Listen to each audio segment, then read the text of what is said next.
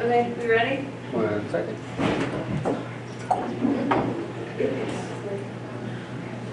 Okay, I'm gonna call the meeting of Monday, April 9th, 2018 to order. Um, should I do the roll call or you do the roll call? It- That can go either way, as you wish. How about you do the roll call? All right, Calzell. Here. Doden. Here. Stiles. Here. MacQueen. Here. Danell. Here. Also present are Flannery Spinner and Village Solicitor Chris Cocker.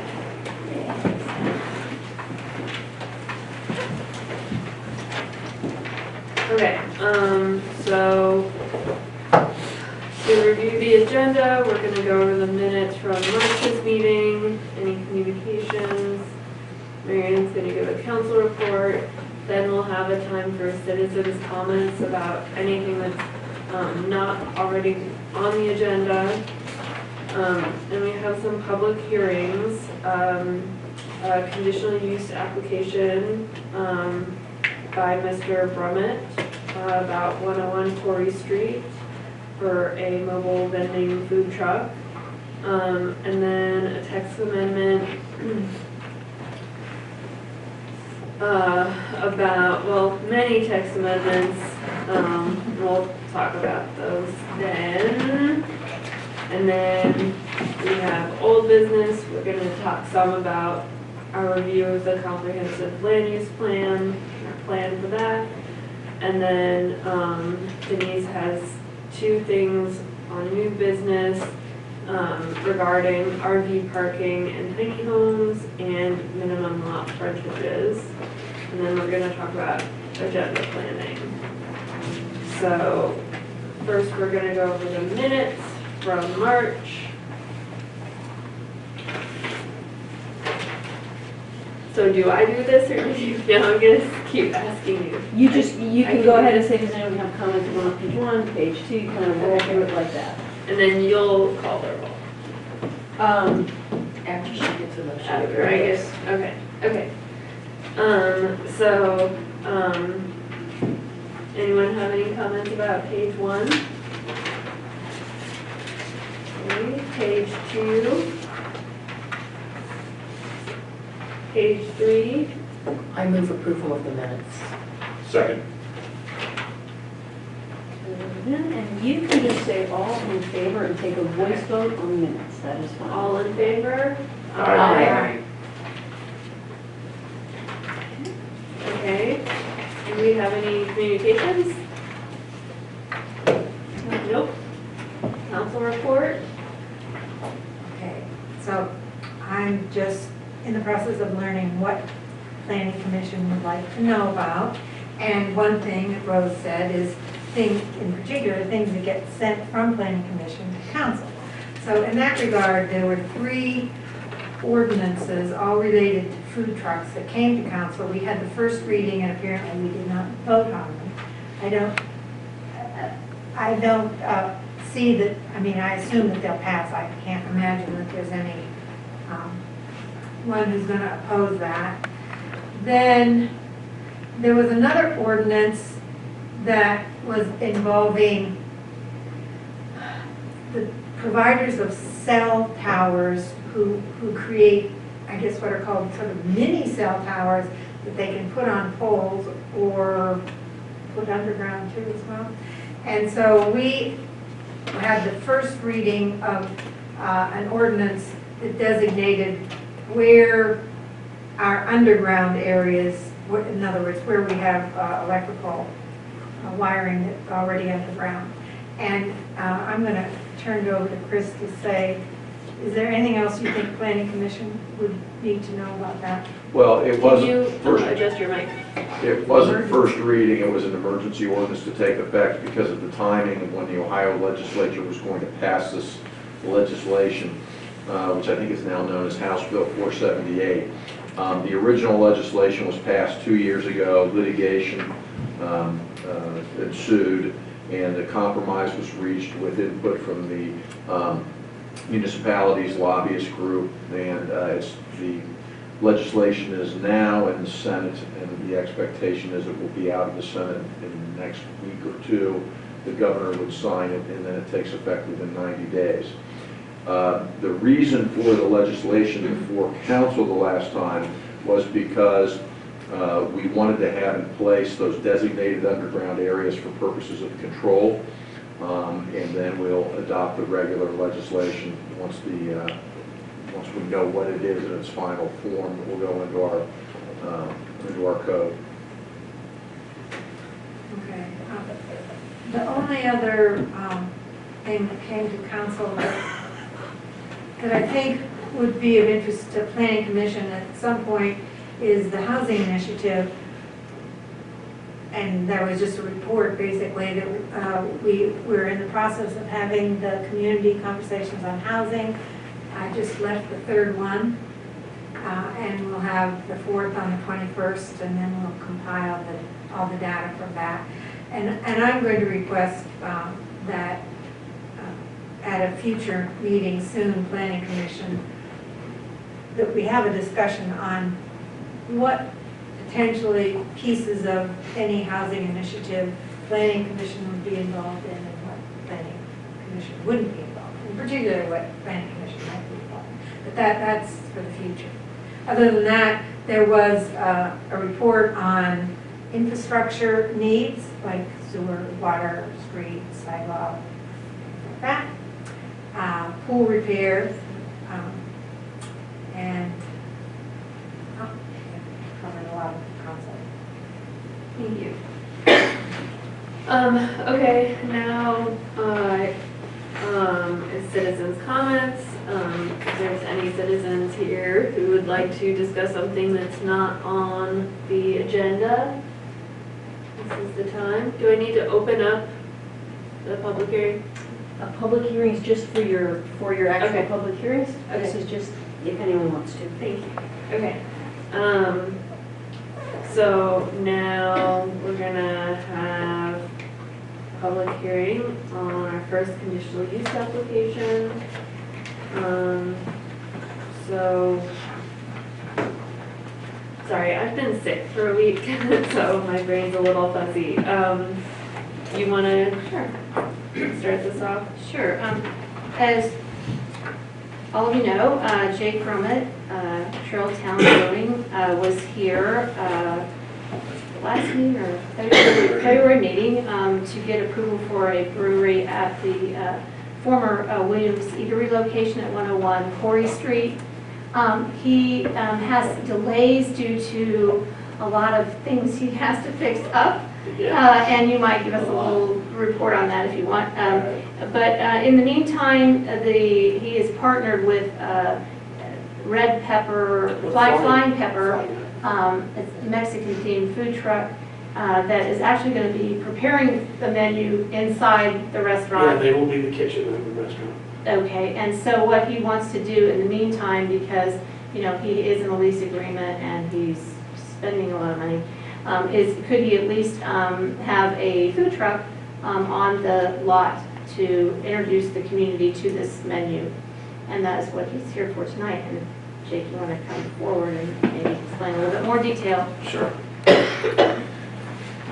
Yeah, the, uh, the actual building that we're um, working with right now, um, we found out after having different inspections that there's a lot of stuff not up to code. The Ansul system, they changed the laws on the Ansul system last year, and it was never brought up to code, so as soon as we took over the lease, there's no grandfather clause for the, for the fire Ansul system, so that has to replace, be replaced, um, along with the ductwork connecting to the, to the hood.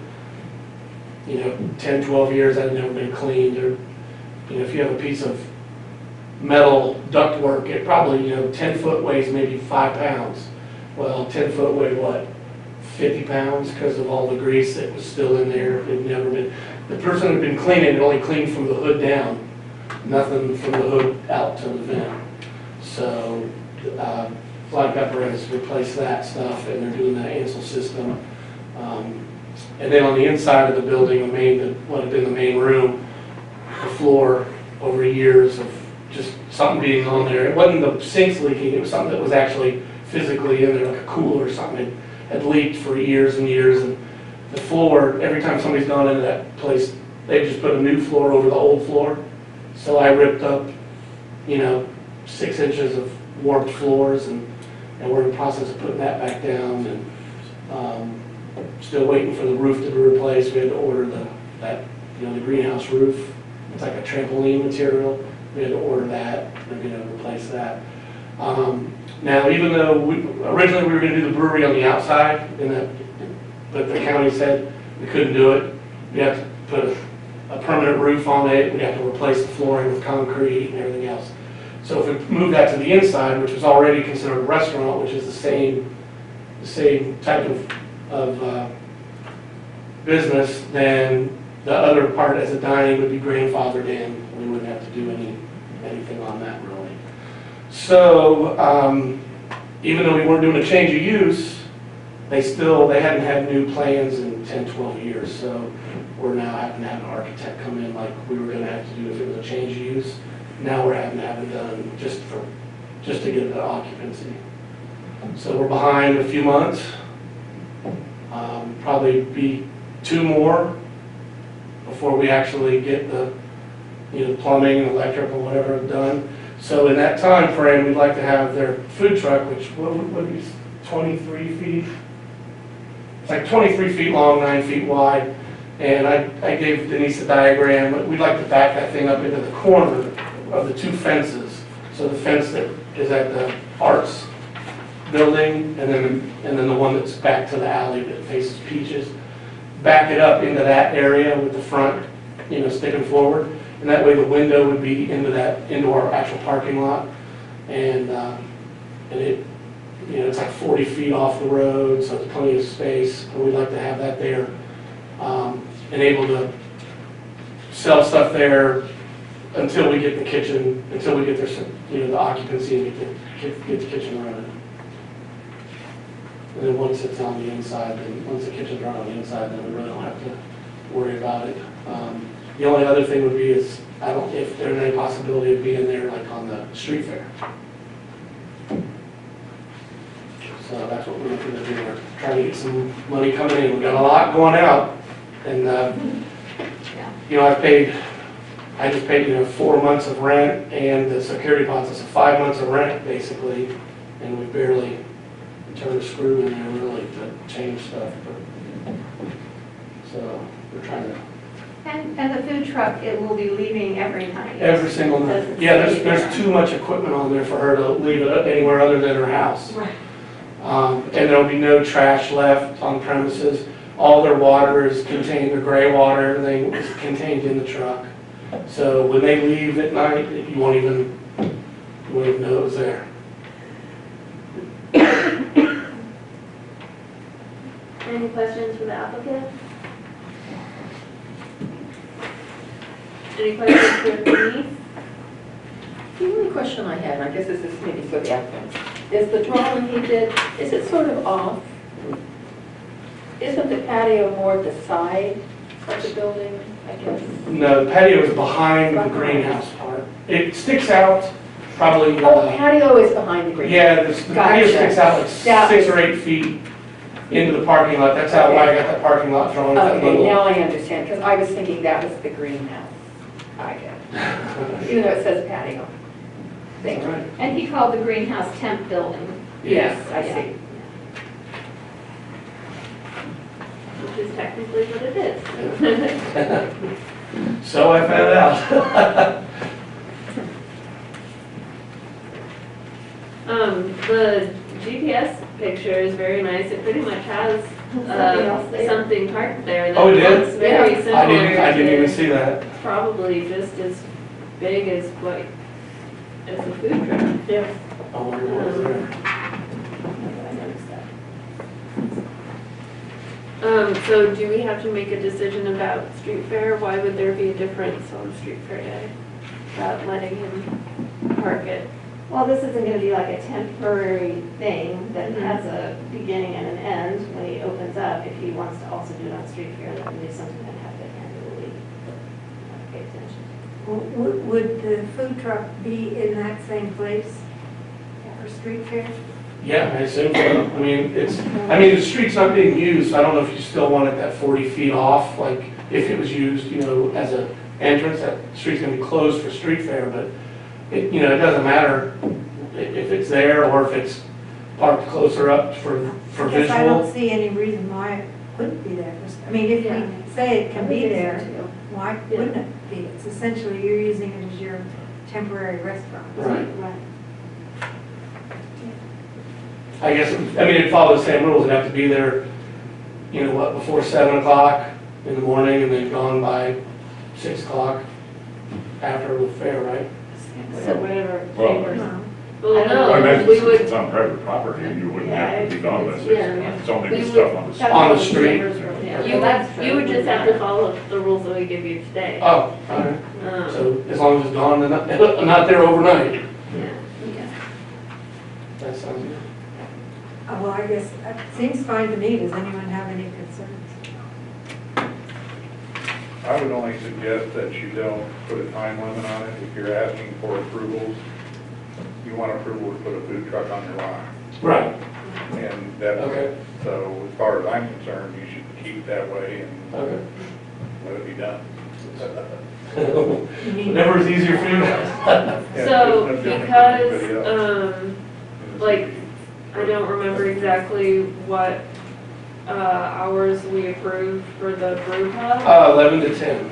Okay, so it's not any less than. Seven days a week, Yeah. eleven to ten, yeah. Okay.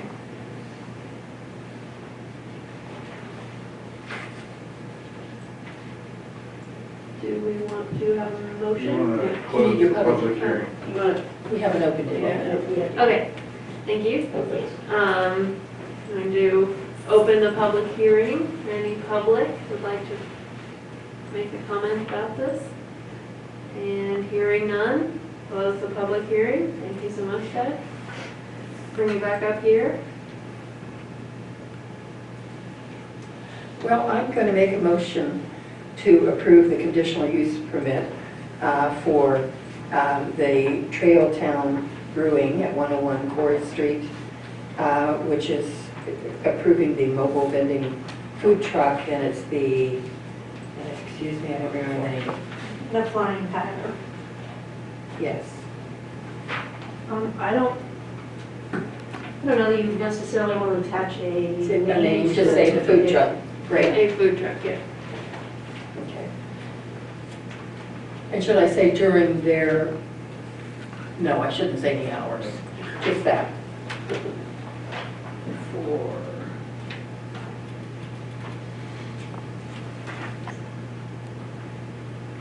Second. Okay. Everyone comfortable with the motion? Rose, do you want to call for the roll call, or you- are you ready to do that? Don't you need to? Will you just call- say, go ahead and call? the roll? Oh, roll? go ahead and call the roll, You please. want to jump in? All right, Stiles, yes, Doden, Yes. MacQueen, Yes. Denell, Yes, Bosa. Yes. Thank you, guys. great.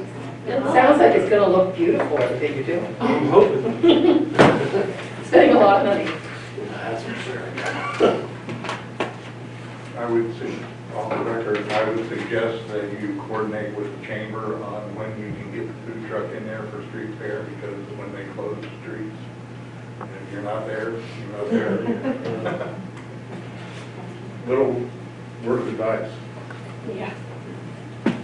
All right, so we're gonna move on to our text amendments.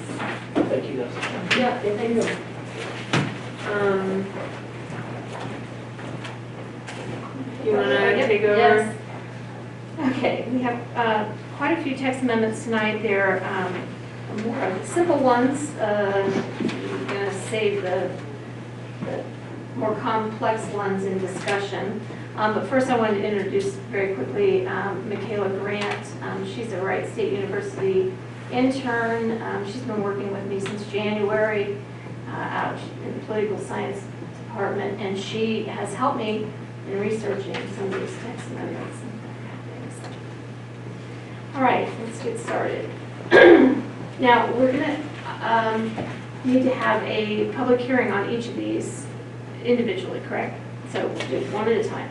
Okay, the first one, 102004, maintenance requirements, is simply, um, as you recall, we uh, were asked by council to look at the weed ordinance, which is also outside of the zoning code, um, earlier uh, last year or sometime. And um, what, in going through something else, looking at right-of-way ordinances, I found this uh, in 10204 maintenance requirements for public right-of-ways, and I just wanted to keep the standard the same, um, which we had changed it from 12 inches to 9 inches for any plant growth, woody, non-woody plant growth, and that.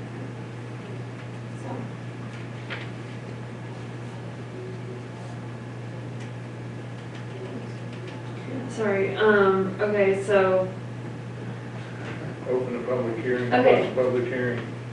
Uh, open a public hearing, uh, close a public hearing, any discussion up here about this change? I Make a motion, we approve it. Well, Oh, no, um, I have a discussion item, but it's not really about, um, so go ahead.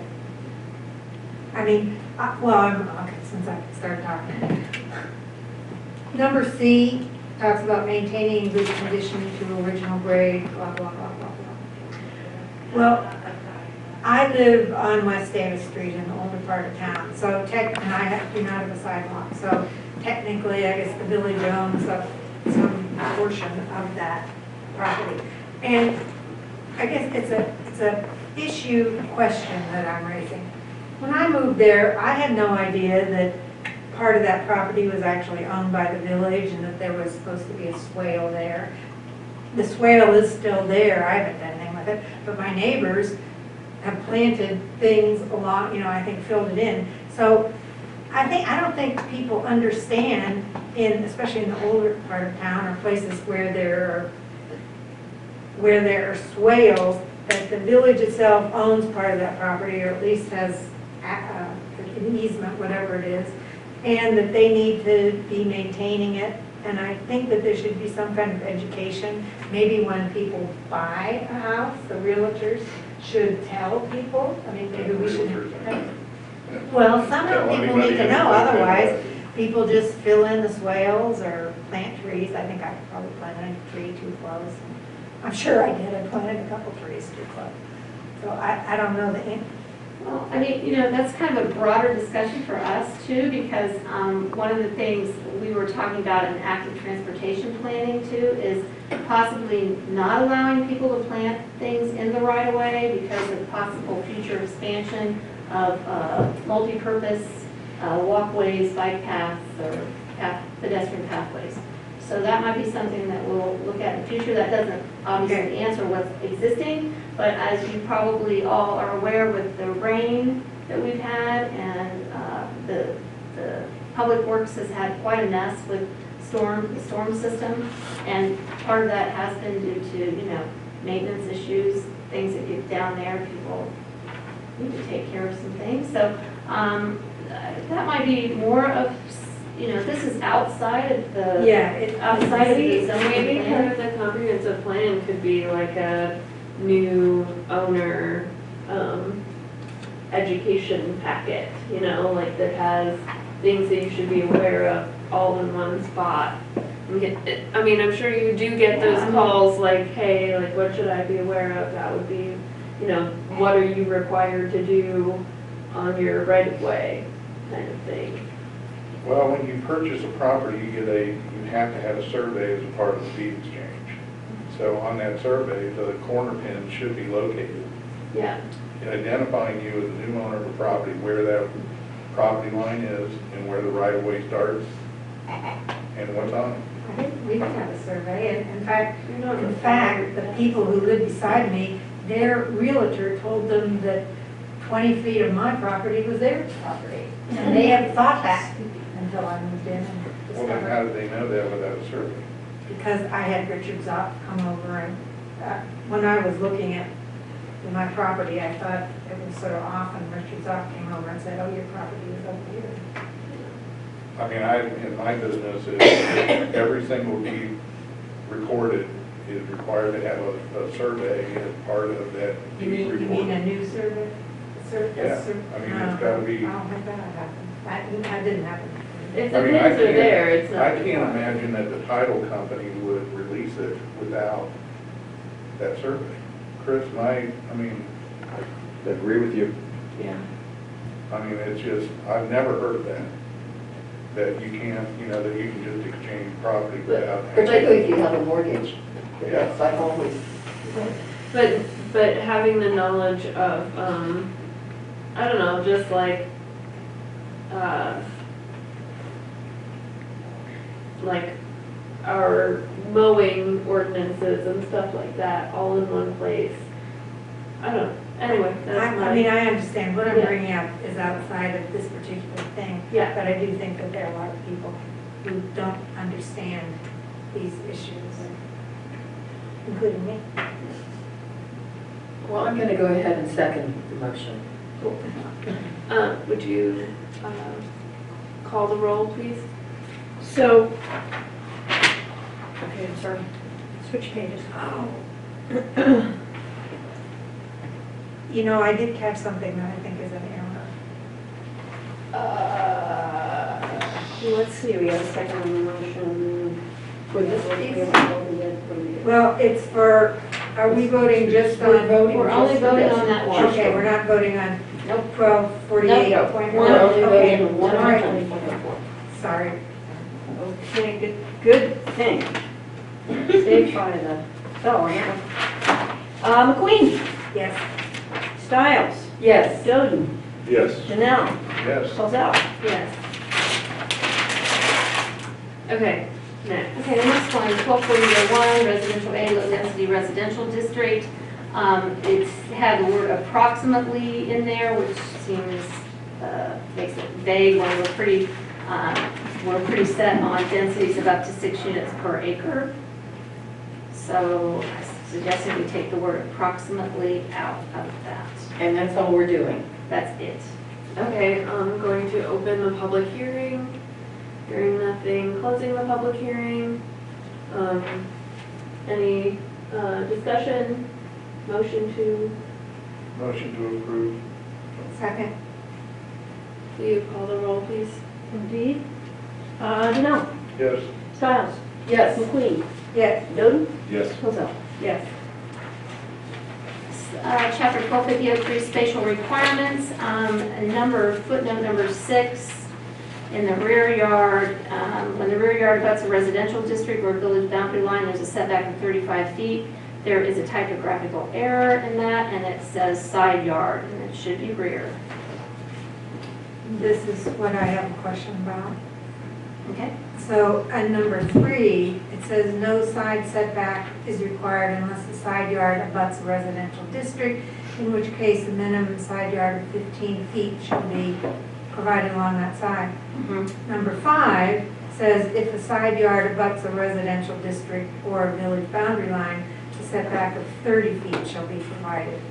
So it seems like in one place it's saying side yard abuts a residential district, it should have 15 feet, and then in, in number five, it says it should have 30 feet. Am I not understanding Those are something? footnotes to these. They only Yeah. apply to the So- number that's in the footnote. Oh, So three applies to, um, B Right, so one, Zero. And B1, five five. applies to Okay, thank B you. two. Wait a minute, what now? Wait a minute. If the I was side reading, what I was reading was footnotes that are referenced up in that table. Right. And I didn't realize that. But So in B one, Oh, I see, yeah, it's a foot, right, it's a Fifteen footnote, feet. exactly, and right, right, in right. B two, it's Right. thirty. Okay, Okay, So we're um, just changing. Yeah. and then in where six is for B two rear, it should be, um, rear instead of side on the footnote. We're just changing a little grammatical error on the footnote to B two rear setback. um, when it abuts a residential district. Uh, Open the public hearing, close the public hearing. Any more discussion? Motion? I move approval of the spatial requirements. Second. Call the roll. Stiles. Yes. MacQueen. Yes, Canal. Yes, Doden. Yep. Pillar. Yes. 126004 uses, accessory buildings and structures. Um, We have accessory structures shall not exceed 66% of the principal building's floor area or 800 square feet, whichever is less. Um, This came up recently um, when uh, I was figuring it for a structure that um, the uh, definition for gross floor area is you take the sum of the horizontal area of the several floors. So you have to give credit for the several floors of that building to then meet that 66% or 800 square feet, whichever is less. And I wasn't doing that, I was doing it by the actual footprint. So by putting in gross floor area, it clarifies that better. Okay, um, uh, open the public hearing, close the public hearing. Um, so we're just adding the term gross in the floor area calculation for accessory structures. Move to accept the change. Second. Call the roll. Did you second? I did second, is that all right? Yeah. Yep, just want to be clear on that. Um, MacQueen. yes, Canal. yes, Doden. Yes. Stiles. Yes. Pillar. Yes. 126202 procedures, uh, under B, public notice, it is the planning and zoning administrator that takes care of all that part, process of the application, not the clerk of council.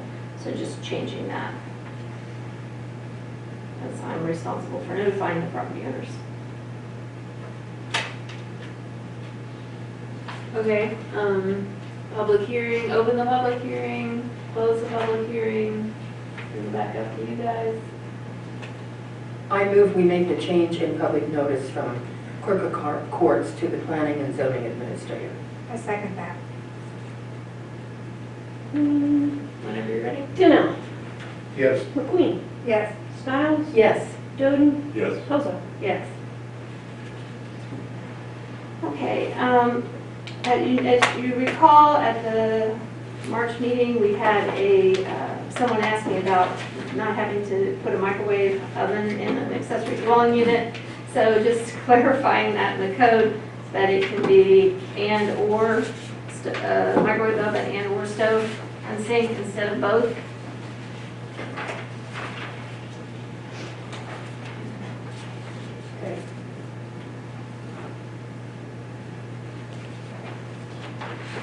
Okay, um, open the public hearing, close the public hearing.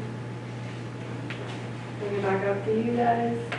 and I move that we uh, accept the change as written for uh, 1262.08. Second? Doden. Yes. Stiles. Yes. Canal. yes, MacQueen. Yes, Pillar. Yes. Okay, 126603 permitted signs. Had a situation that came up, um, and it was uh, the Friends Care Center. Um, They want to have directional signs with, internally within their property. They are signs that, that that are, would be larger than what you would normally see for what we, what would be categorized as a directional sign, which is simply an arrow. They want to be able to identify the buildings. And it, it, you know, I had some discussions about this and, and felt that um, if you can't see the sign from the street or other public property, if it's internal on, just saying as what you have over Millworks. If if there are businesses internally there, then I I would like to see us have an exemption to that. Otherwise, we're gonna make them have to go through a variance process for that. What about abutting private property? Like, if, um, I mean, I guess it- it's not really going to be a problem, so. I, I'll open the public hearing, close the public hearing. Um, I would only make, I, I think that there could be a way of saying that um, signage that is in the front yard along the public right of way. Okay? as opposed to trying to get internal. Because there are many conditions, let's say gate mailing, where along the public right of way, you can see the ground sign to identify the property. Within that, you may have tenants that you can't even see from the street. Doesn't matter, but once you get inside that says delivery, or it says um, emergency shelter, or whatever it is, it's really not of our the way I look at it, unless it's illuminated, you know, so that it bothers the neighbors. No, I mean, in, in this case, they were like having like rehab unit is here and Right. that is over here. Um, So was it for the public to see coming there? people that are pulling in Yes. and to going see, yeah. around, yes. Yeah. You know, it's like Antioch College, how do we, you know, are we gonna say that we're involved in every naming of every building and looking at the signage on every building? No, I mean, that's just not in our. And, and because, uh, you know, those um, independent living facility, the, the, it's still all one lot. So it's all under Friends Care Center. So how would you wordsmith that? I would say that the, the signage, I don't know how to word it, but the signage that is within the zoning code ordinance should, should be relative to the front yard or public right-of-way signage, the entrance signage, building identification signage, not internal signage. So you had initially stated that if I am understanding you correctly, if you change this to zoning administrator may exempt the maximum requirement of site return, the location of the signs will uh, not be visible in the public yard or along the public right of way? Am I hearing you correctly? Well, no, I'd say it? it within, it's gotta be within the front yard or not. Because if, it- once you get, to me, once you get past the front yard requirement, which is the building setback requirement, you're within that property relative to the buildings and whatever the parking lot in the back, or buildings in the back, or whatever it is, and that's just outside our, our purview, I think. At least the way I interpret. Well, uh, so when we were writing this, Susan, you were on planning commission when we did the signs, right? Yes. Um, the maximum of three types of permitted signs and vote four total permitted signs per principal building shall be allowed. So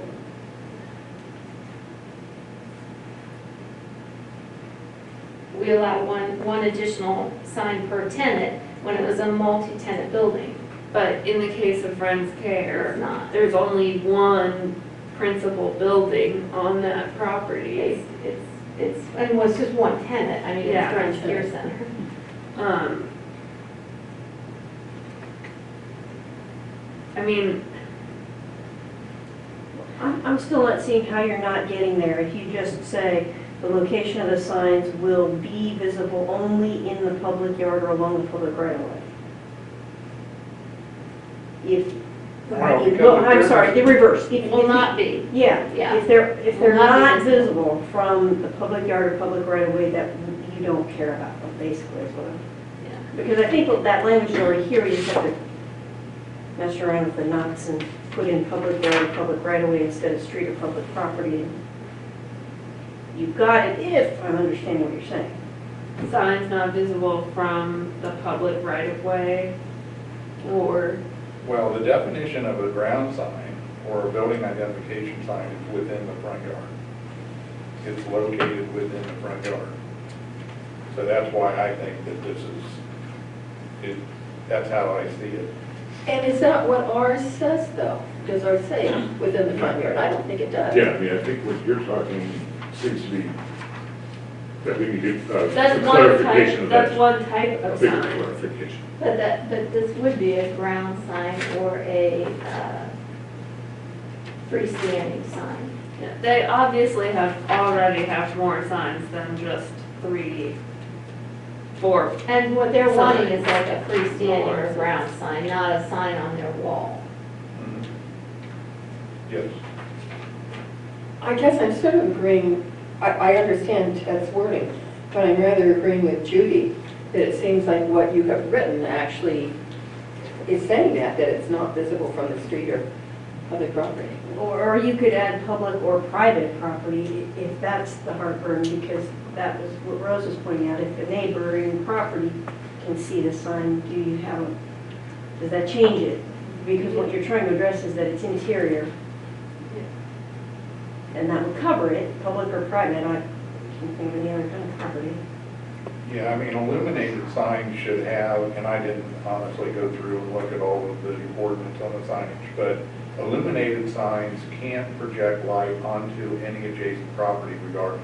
Right. Period. Mhm. So illuminated signs aren't in an issue relative to where they are back on a site or even on the street. But that's the, that's the offense that you're trying to prevent from a neighbor.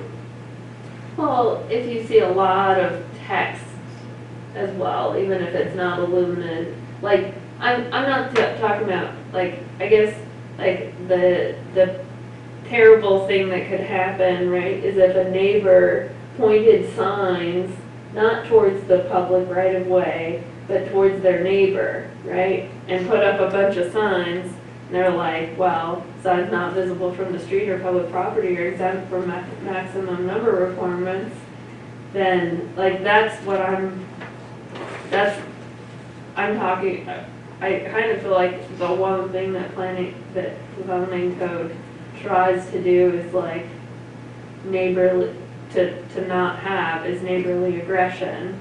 And I guess like signs are a really good way of, of doing neighborly aggression. Well, I, they would have to, that neighbor would have to go down and get a sign permit. And that sign permit would dictate the size of that sign relative to its location. Yeah, but they could have as many as they wanted if it wasn't, um, visible from the street or public property. How it's written right now, is what I'm saying. But what you said before about from the public right of way or abutting property, what? But I, um, but I get what Ted is saying, because it just didn't even click with me that it's only in the front lot line. So, but, I mean, the purpose, it goes back to purpose. Purpose of a sign for a building owner is to identify that building for the public who is looking for that building. Yeah, and to identify what that building is and what the purpose of that building is. Once you get into the property, then that sign may be directional to locate, for example, a Friends Care, of of an apartment house or the gym or the whatever, in- Yeah. within that public property. and that's what they're wanting to do, but they want to be be able to do it on a ground freestanding sign. And I see, I don't see why we would have any say in that. Because I think that once you get past that front yard and public right of way, it's outside of our jurisdiction. So you're saying we don't even need a rule to address it? Yes, that's just, I think if there's not a clarification to that in our signage package, that's the way it should be clarified. Now, I may be wrong about that, I mean, I'll throw that to Chris, but, you know, that's, you know, I always go back to purpose. You know, what's the purpose of a sign? And that's, that's really what this ordinance is about. It's trying to dictate what this, the public sees. And we, and these ordinances started to come up because of all the sign pollution that you see when you drive down every street and, you know, in the public right of way, it looks just ridiculous because it's all signs. But if you, so if they have a sign internally for one of their streets internally and, and they have, uh, they have illuminated, then they're using, I mean, how's Greene County gonna know if there's no notification process from us? Whether it meets code or not. Yeah, because I mean, anything electric has to go to Greene County. Well, you're gonna have to have wind loading and things like that, but I, that's on the owner, that's not, that's outside the public right of way. And so again, that's on the owner. Well, it, it seems to me that would become an enforcement issue if they put it up and we Right. was discovered. Well, The way the code is now, I wouldn't have thought that I could go ahead and let them do that without any permitting process. So it sounds like in part of having this in here is for the administration of it, so that you have a clear guideline to interpret it for the public. Yeah, otherwise I pro- I would have probably had them go through a variance to get more. Unless we put, unless you put something in there that says we don't have to do that. I mean, Well, I mean, I think it should be that way. I- And But this is the way it is right now. Yeah. Yeah, I mean, so if I I go to other jurisdictions, that's, I can tell you that I don't ever run across, if I'm doing a, a, oh gosh, a multi-unit development, I don't have to go and get signage approval where that is. All I have to get signage approval on is what is visible along the public right of way in the front yard. So that includes. That's so interesting because this whole sign code has everything from little tiny uh, signs directional internally in a multi-tenant building like an office. It has, it, it regulates everything. I know, I mean, it just. Well, I mean, and then I would go to, I've had an issue with the, the signage section of our code since I was on the DRC and we were rewriting it. And we kept kicking the can down the road, letting, let's get this back, you know, let's just get through the rest of this, come back to the signage ordinance, because Yellow Spring signage is different than it is in other communities. Well, we just rewrote it, like, what, last year? Well, we cleaned it up. Yeah, We cleaned it up. You know, I we mean, did a that's- lot of work on it. Well, then, you know, I mean, it's on, it's literally up to you guys. I'm just, because I wasn't involved in that, I wasn't paying attention, you know, I apologize. But, you know, that's just the way I interpret it. But would it be acceptable to make the change in the current code that's necessary in order to make your job easier? Well, And and agree to return to the larger issue of yeah, we signage could at some- return to the larger. Oh, yeah. at Some other future point, yeah. And that at least keeps them from, I'm trying to save them from Yeah. having to go through a variance and yet at the same time, you know, we'll have permits for each individual sign. I mean, it was such a, it was a very strange ordinance that we went over and, um, we didn't, I mean, I think we changed some things, but we didn't like wipe it clean. Um, and I, not having this addition definitely makes it, based on the rest of the ordinance, makes it so that they would have to follow this, like, that they couldn't have more signs without coming to getting a variance. Like, that's, that's just how it's written. I, I, I disagree that how it's written right now just makes, if we didn't have this, they would be allowed to do whatever they wanted back there. Well, can you, sorry, I'm just beating this one to death, but if you add that you give the zoning administrator the, the power to exempt that maximum requirement if he or she determines the location of the signs is not in the public yard or along the public right of way. Does that give that Denise enough latitude to say, I can't even see the dang thing, go ahead and do what you need to do? Or not? And maybe the only additional thing to add to that, uh, to maybe address your concern is, or objectionable to neighbors. Yep, uh, Um, You know, that if, in your opinion, if you're, what they're proposing, you say But I it's not think, visible e- yeah, and I from think the even public with right the of way. site visit, I think that, you know, um, if, if it's really close to a neighbor, then it might be say, yeah, you can do this, but you're not gonna be able to illuminate it, or, you know, maybe something Yeah. like along So that. you want to be able to do the site visit? Yeah, I think that, yeah, I mean, I mean, I thought that was the only way I'd be able to Sure. determine. Then then it sounds like the way it's written sounds okay for us. I mean, for now, and then some we can maybe visit later, I mean, as Then I would far like as- to move approval of the added language to the permitted signs. I'll second. Who's the second, I'm sorry? that- Oh, Queen. Did we have a public hearing? Oh. Yes. Yeah, we did. No, okay, yes. It's been a while. Yes, I know, Stiles. Yes, Donnell, Yes. thumbs. Yes. Okay, twelve eighty-four oh three definition CD, okay. Um, We removed the, the square footage for, uh, how, how much acre, how, like, forty-five hundred square feet, if you recall, for every dwelling on a lot we removed that, we removed minimum requirements. Uh, We pretty much have have let the code um, be, let the density, uh, allowing that it's six per acre, eight per acre, 14 per acre, depending on what um, residential district you're in, be dictated by the setbacks and by the lot coverage requirements for each of those districts. So those existing uh, zoning requirements will pretty much drive how much density you can have. Okay, that being said,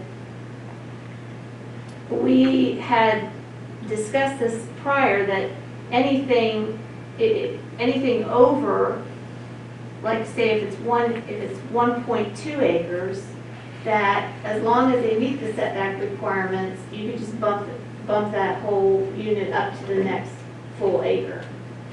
Because that density, was gonna drive it is everything else, what, how much parking you can get on it, how, how, how big it can be that meets the building code, and our own requirements for lot, den- uh, lot coverage and setbacks. So rather than having this density gross, density net, which I found somewhat confusing, um, and didn't really quite understand the difference between the two, um, that much difference, rather than having that, maybe we should just have a definition of density.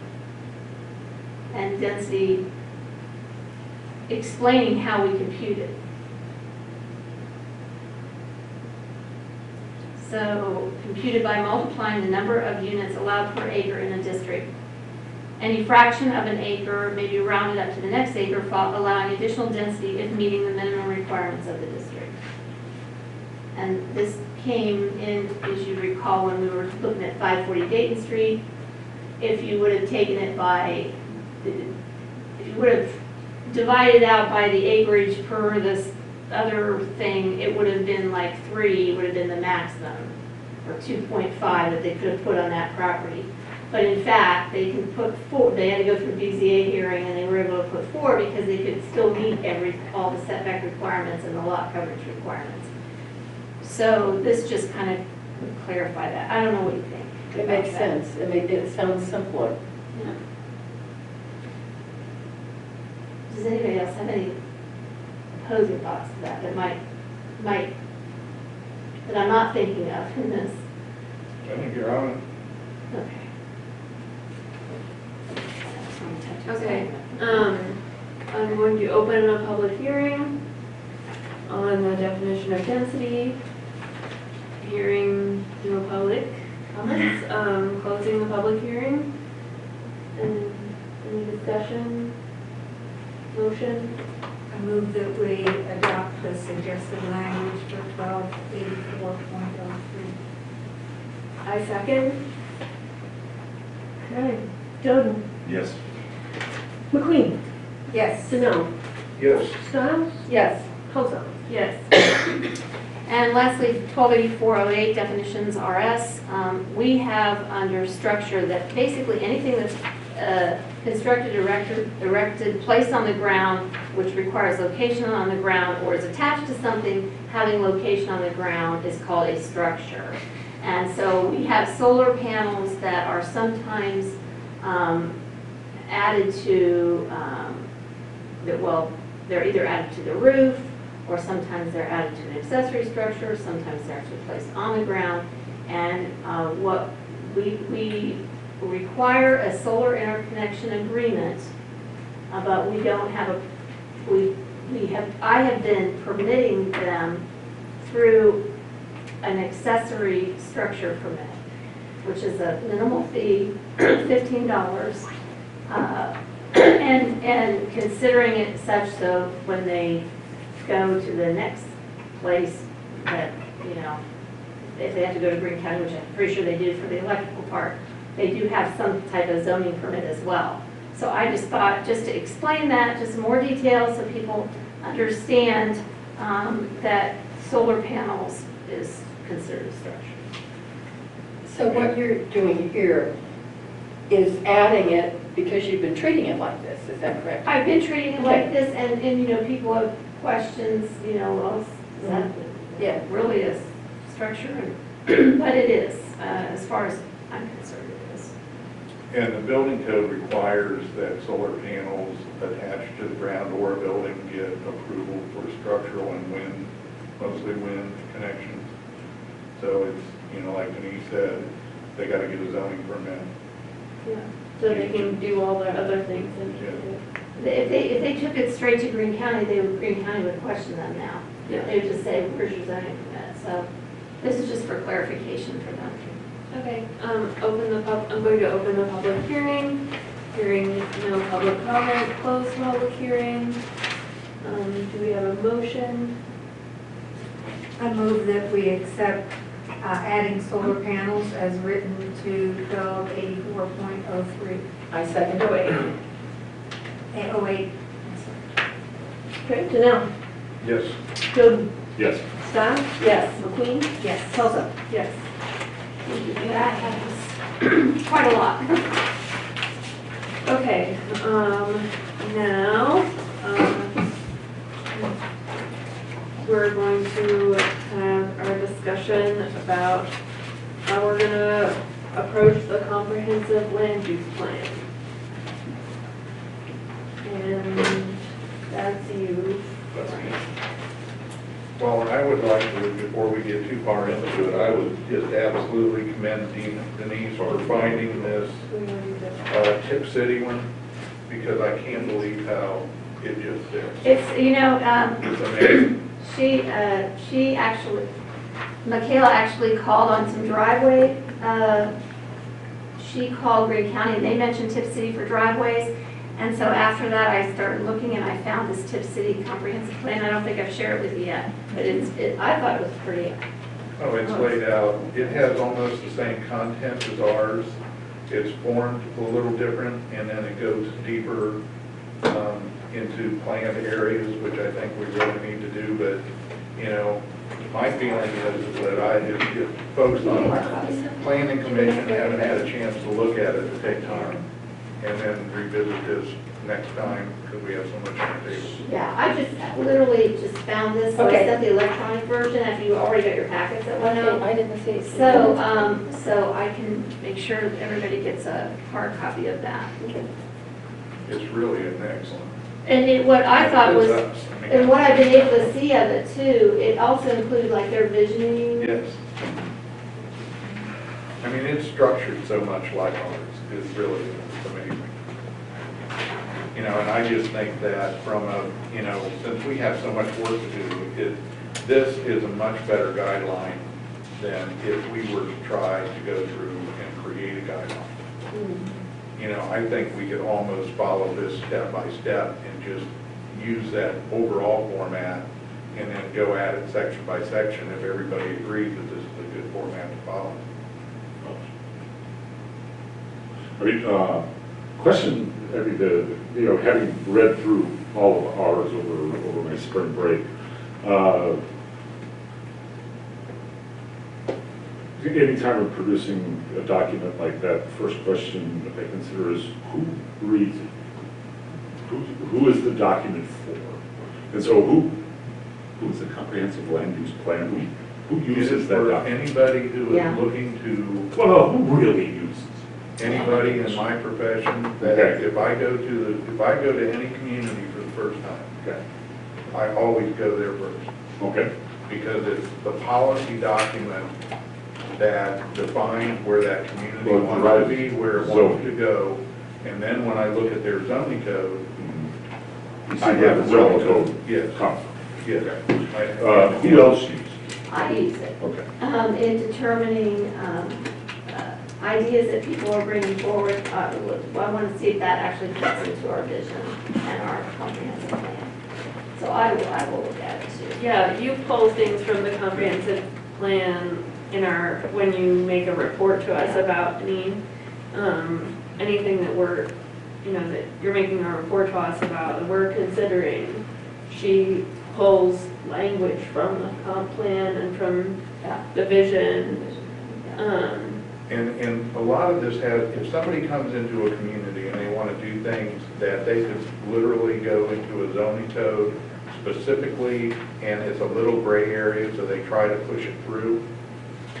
There's gotta be a document that shows why that community wants to do what it does, otherwise, and that gives the administrators something legal to stand by, mm-hmm. so that it doesn't become arbitrary.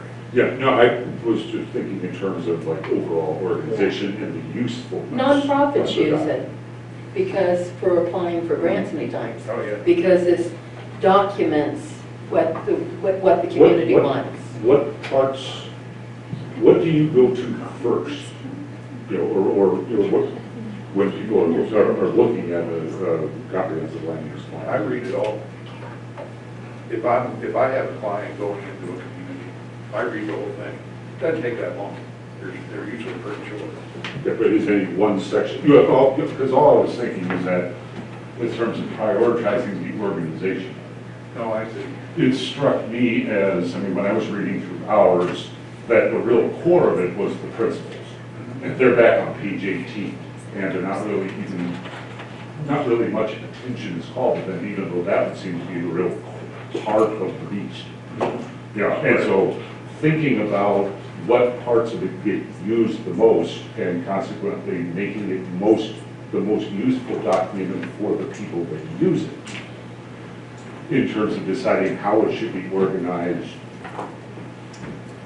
Yeah, I think the is- history part of it is really important. I would agree with that, because that was one of, that really struck me. Mm-hmm. Because I know, I have read this before, you know, and you just sort of like read them fast.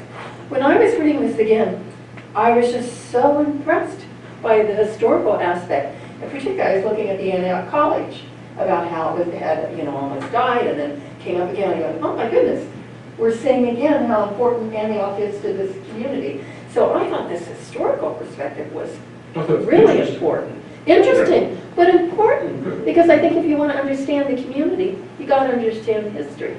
You got to know where we've been, why and where we've been going and why. And so, you know, I wouldn't want to tuck that way in the back. I want that like prominent.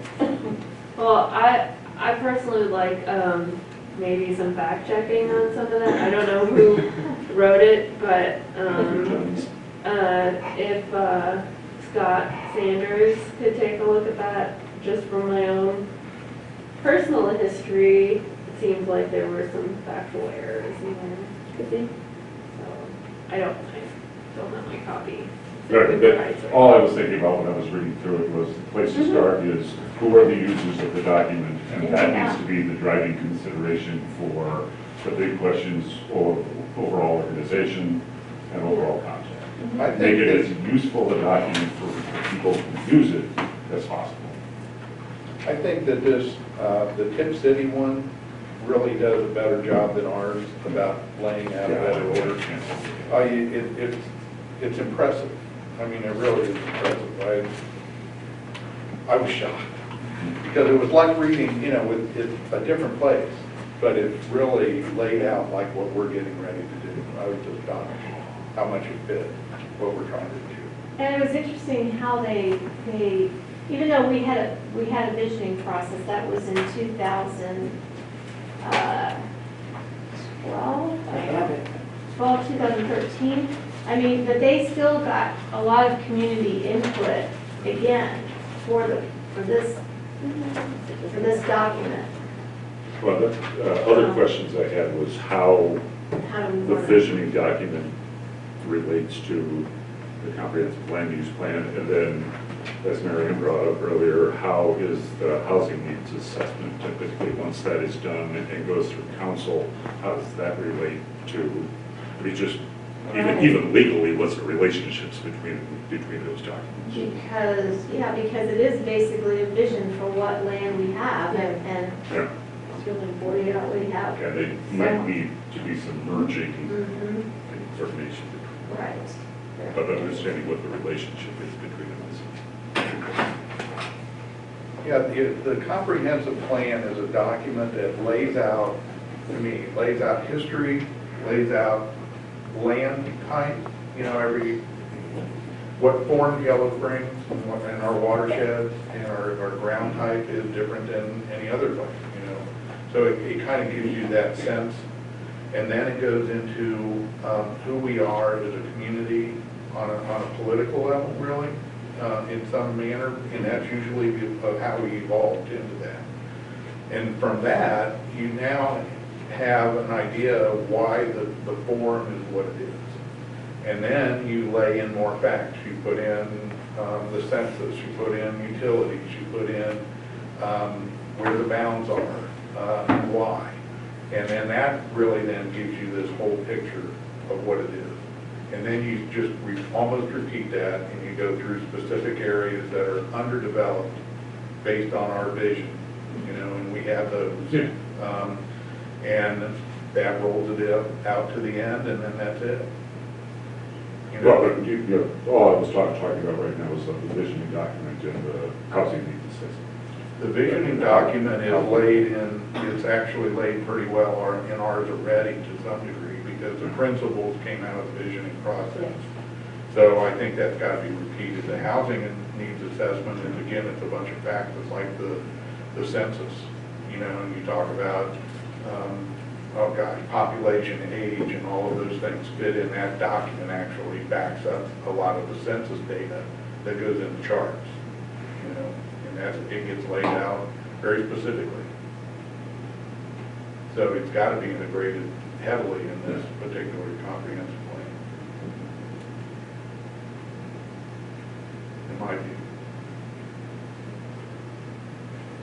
Does anyone have a sense of how long it will take to revive, to re- revise the comprehensive plan? I mean, clearly, it depends on how much we change, add and change it, but, I- and I'm asking the question because moving the housing initiative forward, having the comp plan be completed would be great.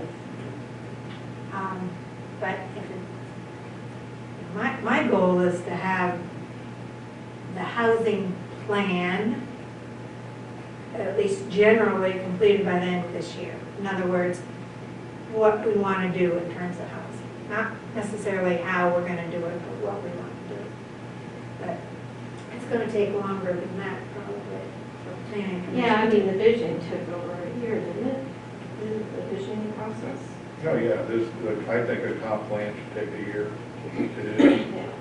But Um, are, w- are we going to be rewriting all of it, or are we more just re, sort of revising it, putting it in a different order? I think we're updating charts, certainly. We're Yeah. up, and we're Factual updating, information. yeah, we're updating appendices and trying to import those in to the body. And, you know, I mean, like, it's like Rose said, if there's somebody that hasn't fact checked the history, you know, mm-hmm. but otherwise, I see us taking the content of the existing plan and just really reorganizing it and updating it and putting it in a new form. Mm-hmm. Not doing a whole lot, I mean, I can't see us rewriting history. Great.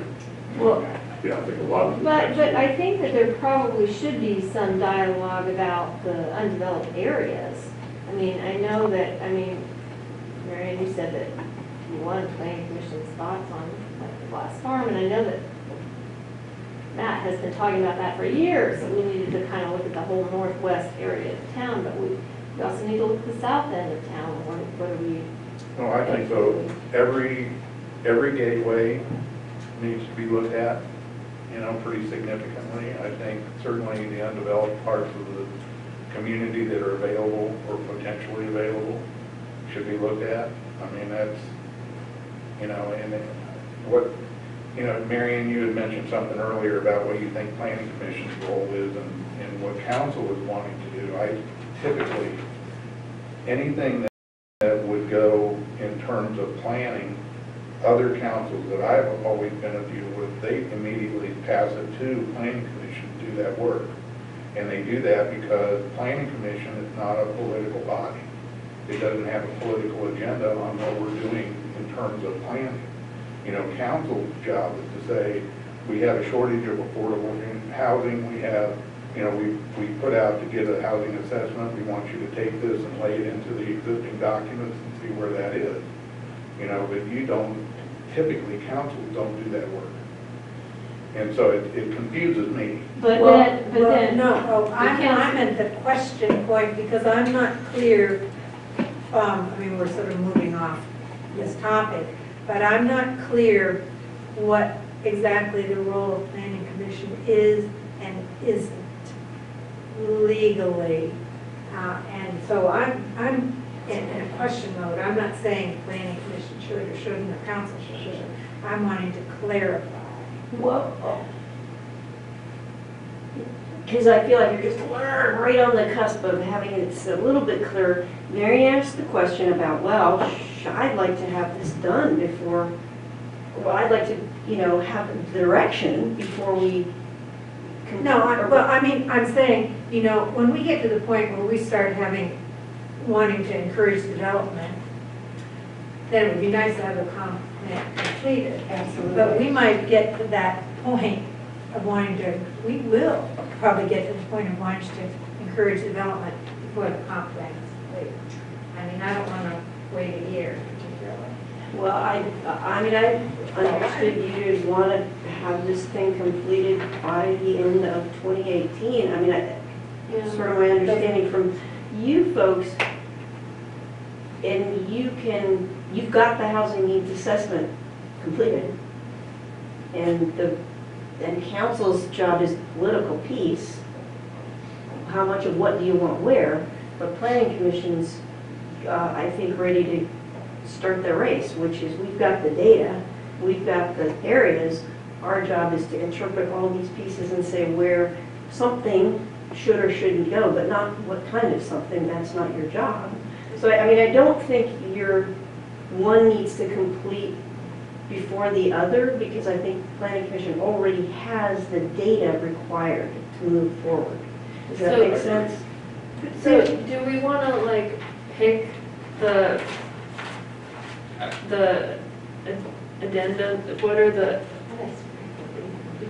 like, There, there is one more that I think, um, that I'm going to suggest perhaps it should be in, because I hear, having been to one of the um, housing needs meetings, that there, and, and reading uh, the document, uh, the study that was done by, is that a lot of discussion of the glass farm.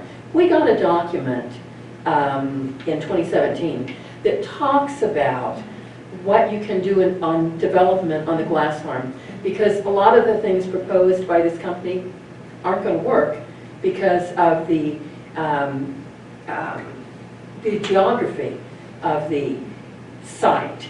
And so I think that needs to be a part because you can't be proposing to put like multifamily housing someplace or a lot of housing where it can't take that. So, I mean, if council says, hey, we want you to look at this particular area, that can be done outside of getting So- this plan done, I mean. So that doesn't need to be a part of I mean, it should definitely end up being in the comprehensive plan, because it's a, pi- a, piece of land, but I don't know that, that we can have the comprehensive plan done before.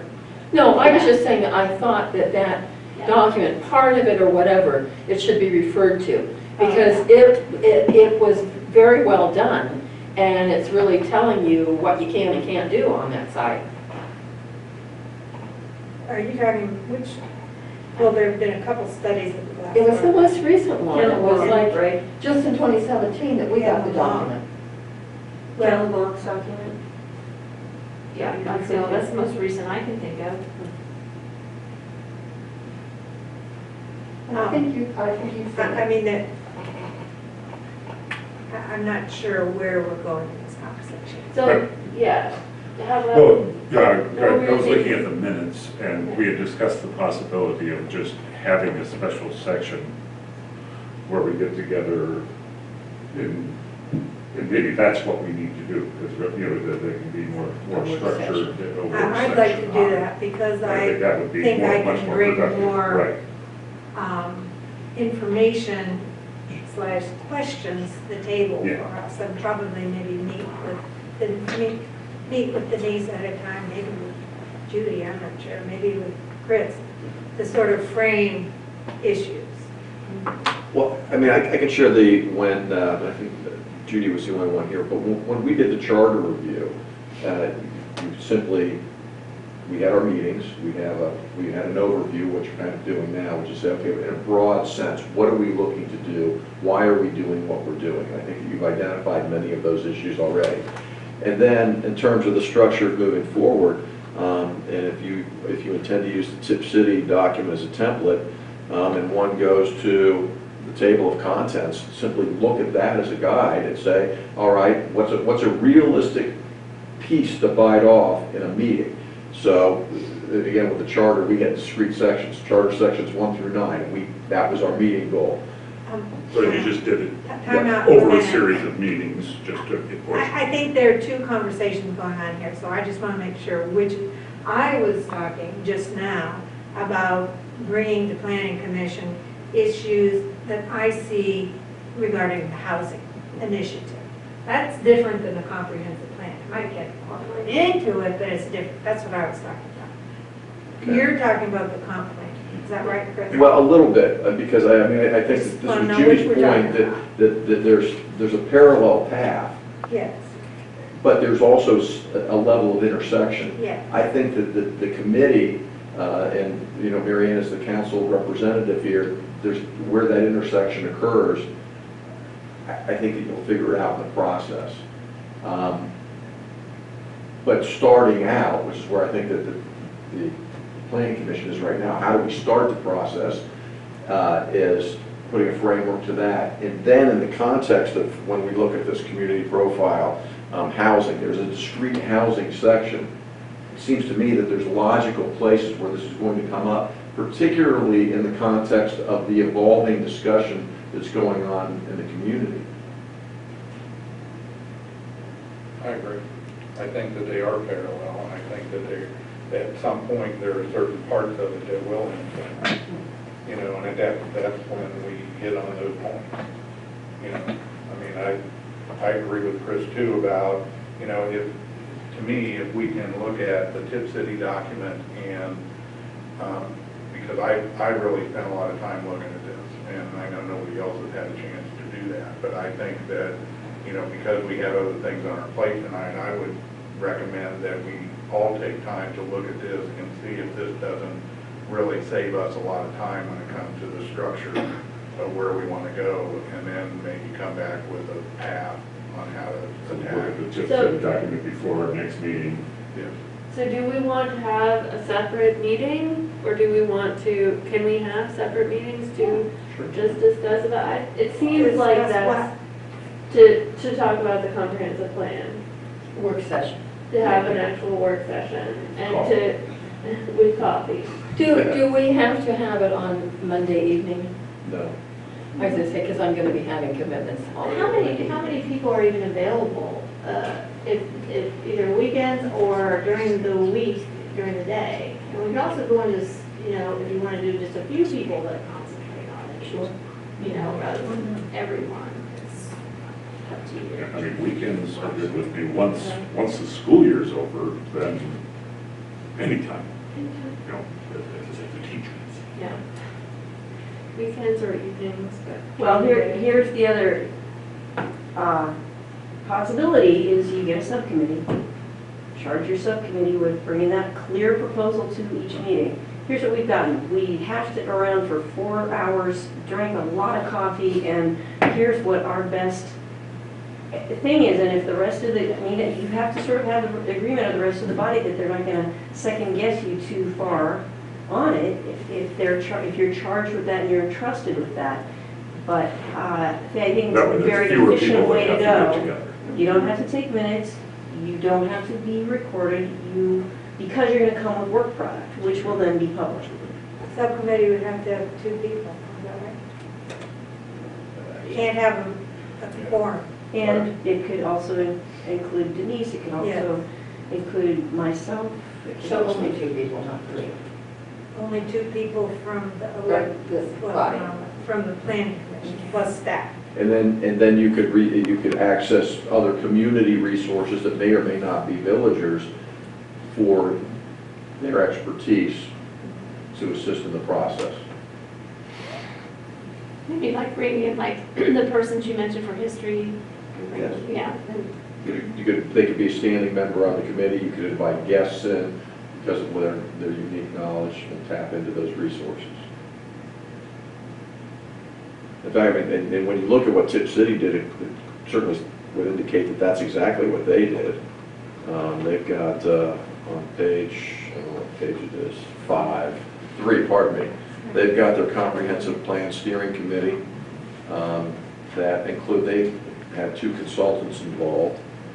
Um, and that, you know, that suggests to me that they allocated some budget, some money for that, but that's a potential area that's, you know, the definitely village could some- explore as well. Yeah, village could explore that as well. Have You a- could pull a Board of Zoning Appeals member on Yeah, and For but but I'm saying you can also budget for a little bit of this as well.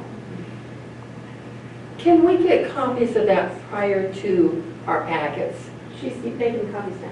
Oh, Okay, great, so we'll be able to, okay, because I'd like to look at before. Yeah. You know, I would kind of like, I, I think, I would not have a problem with two people and, and staff and any consultants working on it. But I'd kind of maybe like to have a first session that with as many of us as we could as a work session, just so that we all sort of know if we're on the same page, I if we're going the right way. And then after that, you know, if I'm not one of them, I would trust, I mean, I'm certainly probably going to start questions, but I think I, you know, would be willing to have a couple people working on it. And I think that would be helpful for whoever's on that subcommittee too. Yeah. To have heard from everybody more clearly. And I really am a big believer in work sessions, you know, get it off of the regular agenda and focus on nothing but that. You know, the idea of bringing the subcommittee work to the work session really makes sense. Well, doing it another way hasn't worked so far, so. Um, You know, and and the thing is, is, is conditional use hearings and site plan reviews can just blow that Yeah. whole agenda, Oh, you yeah. know, but to have, Right. to have a time when we can just focus on that, and Frank's leading that train for us, so. if, um, You wanna set something up for, uh, evening during the week, do we Yeah. have, do we have any days available during the week, or? Evenings work. In the Yeah, I- that would be a good thing. You know, You Just throw a hand up if you're available during the day, because that changes the picture for everybody. Okay, then it's nights, and then we get more limited, because we've got Yeah. all kinds other of other meetings, commitments. Yeah. Well, I think the first thing to do is find out if there's a subcommittee that's willing to take this on. Well, you were talking about us meeting First, first. all of us before the meeting. subcommittee. Yeah. Yeah, work session. And then in that work session, maybe we can identify who wants to be on a subcommittee. No, Because maybe all of us would say, I want to be, you know, and then it's going to continue being more session. Yeah. Yeah, one of the things I would, that- one of the things that they did with the, the charter review is that there was a decision made on the size of the committee. We know that there's likely going to be two planning commission members. We know that there will be staff involved. And then identifying what resources you might think that you want from the village in terms of somebody to be on the committee as a, I'll say, a, a fixed member, a permanent member, uh, rather than a guest. And what do you want, five people, seven people? And then identify um, who from the village, certainly Denise. Yeah. Yeah. Um, And because you, you want to make sure that you have a workable size. I think on, on charter review, what do we have, about nine? Yeah, but I, I don't know if you want to go the I don't think whole, you wanna let's go have a committee thing. I mean, Right. if you stay with subcommittee with invited guests, you stop, you avoid the political context, you avoid who appoints what members of what and how. Yeah. Uh, it's worth it. Let me tell you. And then we'll be discussing everything back when it comes comes back to a us public anyway. component Yeah. Anyway, yes. And, and, you know, frankly, in that context, because you'll be having your regular meetings, you can have a placeholder on your agenda to discuss a discrete item that's a part of the report. Mm-hmm. So there's progress that's, that is demonstrated and discussed. Okay. And you can also, just, I mean, with regard to the housing piece being a variable, if, for example, Marianne is not on the subcommittee, another council person who is involved in that housing process and is knowledgeable can come and do that same thing. I mean, there are kind of ways to still gather that information without blowing the com- you know, the way your The things quorum. comprised, yeah. Okay, Um, so can we talk about having our first meeting before we break up into a subcommittee? That's a good idea. Um, an evening, what's, an Do you evening, want to do this? weeks? Does everybody want to like email me and just let me know what evenings and Okay. we- the weekends you have available, in case you don't have your calendar here? Do you want to say a particular time period? Um, what's, yeah, that might be good too, if it's any, During a particular week or two? Well, is there, any- yeah, a particular day, can we come to that? so we, on, on work sessions, I don't have to advertise those? No. If it- Oh, If it's a Body is- Yeah, yeah, you do. work session, yes, you do, yes. Yeah, So- Even if it's a work session, you would still need that. So we need to be at least three weeks out. Well, no, two, No. I mean, I, in fact, it's Monday, I mean, it could be next week, but not that I'm So we could do it next week, or we could do it the following week. Following week, yeah.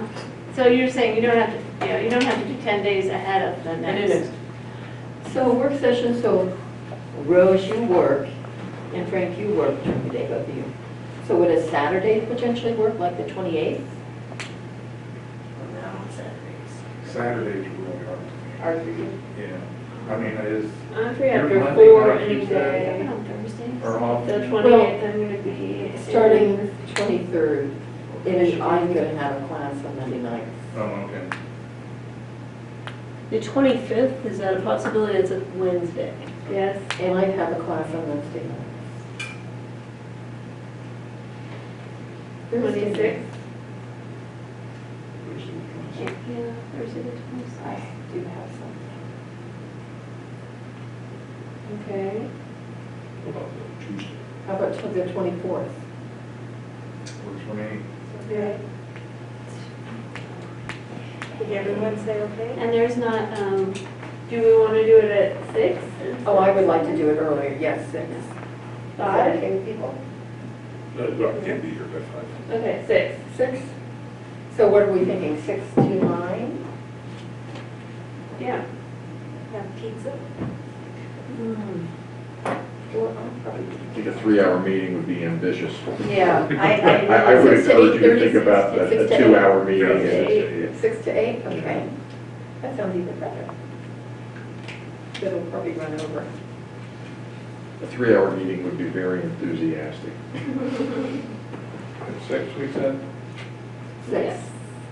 On the twenty-fourth, Cool. And Frank, you have an idea of how you want to set that up? and- Uh, Not off the top of my head. Okay, but But, uh, just let me know if there's anything you need from me as far as creating an agenda for it or I materials. think Just the things that we've already discussed and uh, be looking at. Uh, The Tipp City. Yeah, everybody has looked at the Tipp City document, the current document, and to think about those big issues about overall content and organization. And then beyond that, how to proceed. Really think having a Tipp City document. well, and might it be worth asking, maybe asking Michaela, just give a phone call over to Denise or over to Tipp City, or I could do the same thing, speak with their village manager, or their town manager and say, how'd you do this? How'd you, how did you put this together? What was your format? Well, how did you, I mean, just gather some information from a couple of communities, because they obviously did an outstanding job of putting the document together. and They so hired a we got consultant. In front of Yeah, they hired a And that's why you Yes, but so the we, so we reap the benefit of how did that Exactly, consultant organize you so that it turned out this way? Can I say something? Um, I did up? to, okay. Um, so I just, with doing like preliminary research for this, um, I did talk to Andrew Rodney of, uh, Centerville, and he gave some advice as far as, um, hiring like a consultant, like, and like having like partial work done, whether it be like organization or content wise. So I can definitely reach out to him again for more specifics. And then I can call Tipp City or I think Sugar Creek was also one. Um, but yeah, I can absolutely do that, but as far as that goes. One of the biggest things we're gonna have a hard time doing is, you know, I don't think Denise has the ability because of software, but, you know, to be able to take text and put it into a document. You know, it's, it's like a mini PowerPoint, but PowerPoint obviously wouldn't work, but some, you know, software program that allows you to do this and import photos and maps. Oh, so and- you don't have to en- re-enter it. Yeah, I mean, at least it, you know, it's formatted in a certain way that helps you to do that. That's what a consultant brings to the table first. And then they have, you know, they have the ability to reach out to their own library and import text and data and, you know, do things. That's what, again, what a consultant does that we would have a hard time doing. But I don't think that the content behind our existing comprehensive plan is that far off to dictate getting a consultant in to do that portion. But the formatting of the, Yeah. Is the existing plan in, in a uh, editable format, Word format already? oh, I'm sure that Yeah, it they is. it's a Word document. Just assume that it is, but. Yeah, it is. Is there anybody in the community that has that software you're talking about? That might be willing The to? grant writers are ones that have, Okay. you know, a lot of that word smith and stuff. I mean, I, I don't know, it's never been a part of what I do. Well, and, and that may be something Michaela can track down as well, if we, if she gets the information as to the consultant, and there is some funding available for boards and commissions to be able to bring some money for it. Yeah, they could do Yeah, without having to do a big, Mhm. yeah, expensive thing, just Any graphic? somebody to organize and get that. Yeah. going.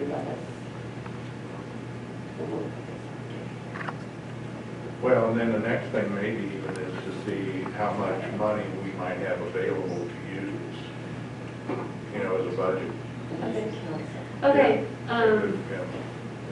Are we set on Tuesday and we can move on to our last two things? Yes. Okay, um, so, uh, we have some new business, um, that Denise has been working on. Yeah. Um, one being the RV parking, tiny homes, mobile homes, uh, talk to us about that. Okay, so we have in the zoning code a few things. um, And, and it's come up lately uh, through uh, complaints that have been filed um, in the zoning office with people that are parking recreational vehicles around town and parking them. And um, the only place to, that- that it's even mentioned are recreational vehicles is in the zoning code. And it's kind of, uh, I, I get that it's in there because if it's used as a dwelling, but it's not in our, uh, general offenses code, so there's not really any ticketing of people who are parking on the streets and that kind of thing. So I wanted to just review that part of it, but as well as the whole idea of RVs, and then as this tiny home thing has exploded, I've got people all the time that are calling me and wanting to know if they can have park a tiny home on a lot. Right now, the way the code is, you could, basically, what I've told people is if you put it on a permanent foundation and it's connected to our utilities, you can have a tiny home. It has to be permanently on the ground. Now, that doesn't mean it can still be like on the trailer part of it, that's where, that's where it's starting to get a little more confusing. But I basically tell them, no, they have to actually put it onto the ground. Um, So there's some concerns about that, the way the zoning code is, and what, what do we want to consider in the future. So, um, right now, we have in the code uh, dwelling, manufactured home. A manufactured home being something that's factory-built, single-family structure, transportable in a couple pieces on a permanent chassis. And I, I use the Unibilt as an example for that, but is that also a tiny home? That goes to how they are regulated relative to each state inspection. If you're a mobile home, you have to have, like you build, have to have an on-site state inspection for all of its structure, its wiring, plumbing, HVAC, its energy compliance, and how the fasteners all work together, that it complies to all those code restrictions. And so that certification leads the factory. So then when it comes to a specific site and that mobile home unit goes on a permanent foundation, the county looks for that sticker and cannot look in that mobile home unit for compliance.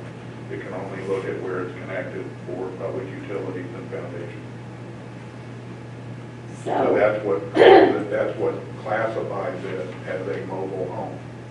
If it's on wheels and it just sits on a site, it's an RV, it's a recreational vehicle, period. Because there's no difference than a thirty-foot recreational vehicle with a full shower and kitchen in a tiny home. It's on wheels. so I've always thought that mobile homes are not permitted in this village. They're not, because a mobile home, there's, well, actually, there's a,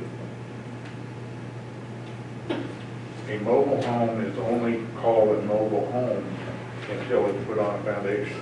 If it's on a permanent foundation, it's no longer a mobile home, it's a permanent home. It's just how it's regulated through the state for inspection. There's specific things in the Ohio Building Code about what's called a mobile home. So when you, when you see like a mobile home park, like what you see in Fairborn, um, then those are on permanent foundations. So you're saying that those would be allowed? We have them in town. We have mobile homes in town. And, Uh, So, So does it become then a manufactured home? Yeah, it's manufactured. because it, I mean, when I, when I think about traditionally as a mobile home, I, I've not seen that in town, but I, I know we have Unibilts in town, which are like, Well, that's it. They're on permanent foundations, but Yeah. there are, like With the- Xenia has mobile homes that aren't on permanent foundations. Well, now, that's a different, yeah, I mean, you're, you're, they're, that's a zoning thing. They become, it's like an RV park. It becomes a, a mobile home park. You're allowed to have mobile home parks. And what that means is that you are on a temporary facility. So otherwise you connect temporarily to something that moves. And there's a whole lot of restrictions that you don't have to comply to there when it comes to things like wind loads and all this other stuff. That's why they're not legal in towns, because they're dangerous. They blow away. I mean, they're just dangerous. Yeah. They're affordable. right. Well, Well, Yeah. but I mean, if you, but, but they'd be affordable even if you put them on a permanent foundation. yes. Yeah, And they're safe now. They're safe yeah, and they protect the public. right. That's true. You have to be able to protect those around you as well. Yes. So,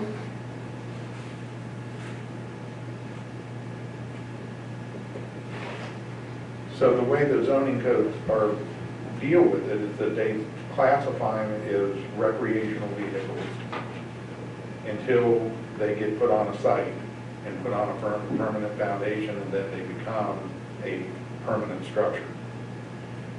Or they stay on wheels and they get zoning introduced as more like a mobile home park, where you can connect to, temporarily connect to, and do things like that. I think that we want to, you know, that's a big leap for us to allow RV mobile home type parks, not permanent structured park within the village limits. And, you know, the vast majority of cities and towns don't allow, the vast majority, for the reasons of Is- safety and public health. Is having like one allowed per lot, you know, still that same kind of public nuisance problem? Like what are we, or what are we you mean trying like to what, for- avoid? If it's on, I think what I'm hearing is you could put a mobile home, even one that looks like what you traditionally see as a mobile home. Or an If RV? it's- If it's on a permanent foundation, and it's attached to that with sewer connections, but then you have to follow that only one principal dwelling per lot. And then, and then, it- then they would have, if they wanted a secondary, it would be the accessory dwelling. A dwelling unit have to have a permanent foundation, be connected to cities, to services, electric. But are we, but we also don't allow any, anything on wheels to be lived in, in the village, right? So are you asking? Well, it looks like for- we do allow in the parking, and, uh, in the recreational vehicle parking, it says, it says temporary occupancy for periods up to 72 hours. Okay, so we allow it for seventy-two hours, but nothing longer than that. Yeah, Unless it gets put on a permanent foundation. Right, Yes. And is connected to service. So And- I, I would just like to say, I'm not gonna put up a huge fight right now, but I think the whole thing about uh, mobile home parks is a classes issue more than a safety issue. And uh, I frankly would love to have a mobile home park in Millis Spring. And I think that people should be able to live in tiny houses or um, RVs on a lot with a, a- sort of an accessory dwelling for more than 72 hours. Maybe not permanently, but like a month, two months, But it does get into a safety thing if you can't have it permanently attached to the ground. I don't think, I don't think we're disputing the idea of, of a mobile home. No, but it, I mean, that, that just how do you get increases. what you- how do I'm just saying, I think it's a classist thing, and I think it's the classism that's driving it, not the safety issue. And so, I totally can I just just get clarify? public safety and health issue. So you're saying that it would have the wheels still on it? Where Yeah. what Ted is saying and- and Denise is, the wheels are removed?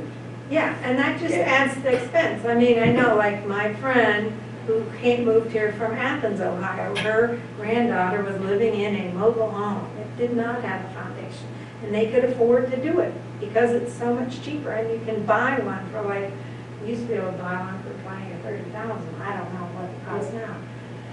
I have the same concern about safety, because like just this last Tuesday, the anniversary of the big tornado in Xenia, I, I'm in the township and I'm one that I didn't have a direct hit, but I had the high winds hit.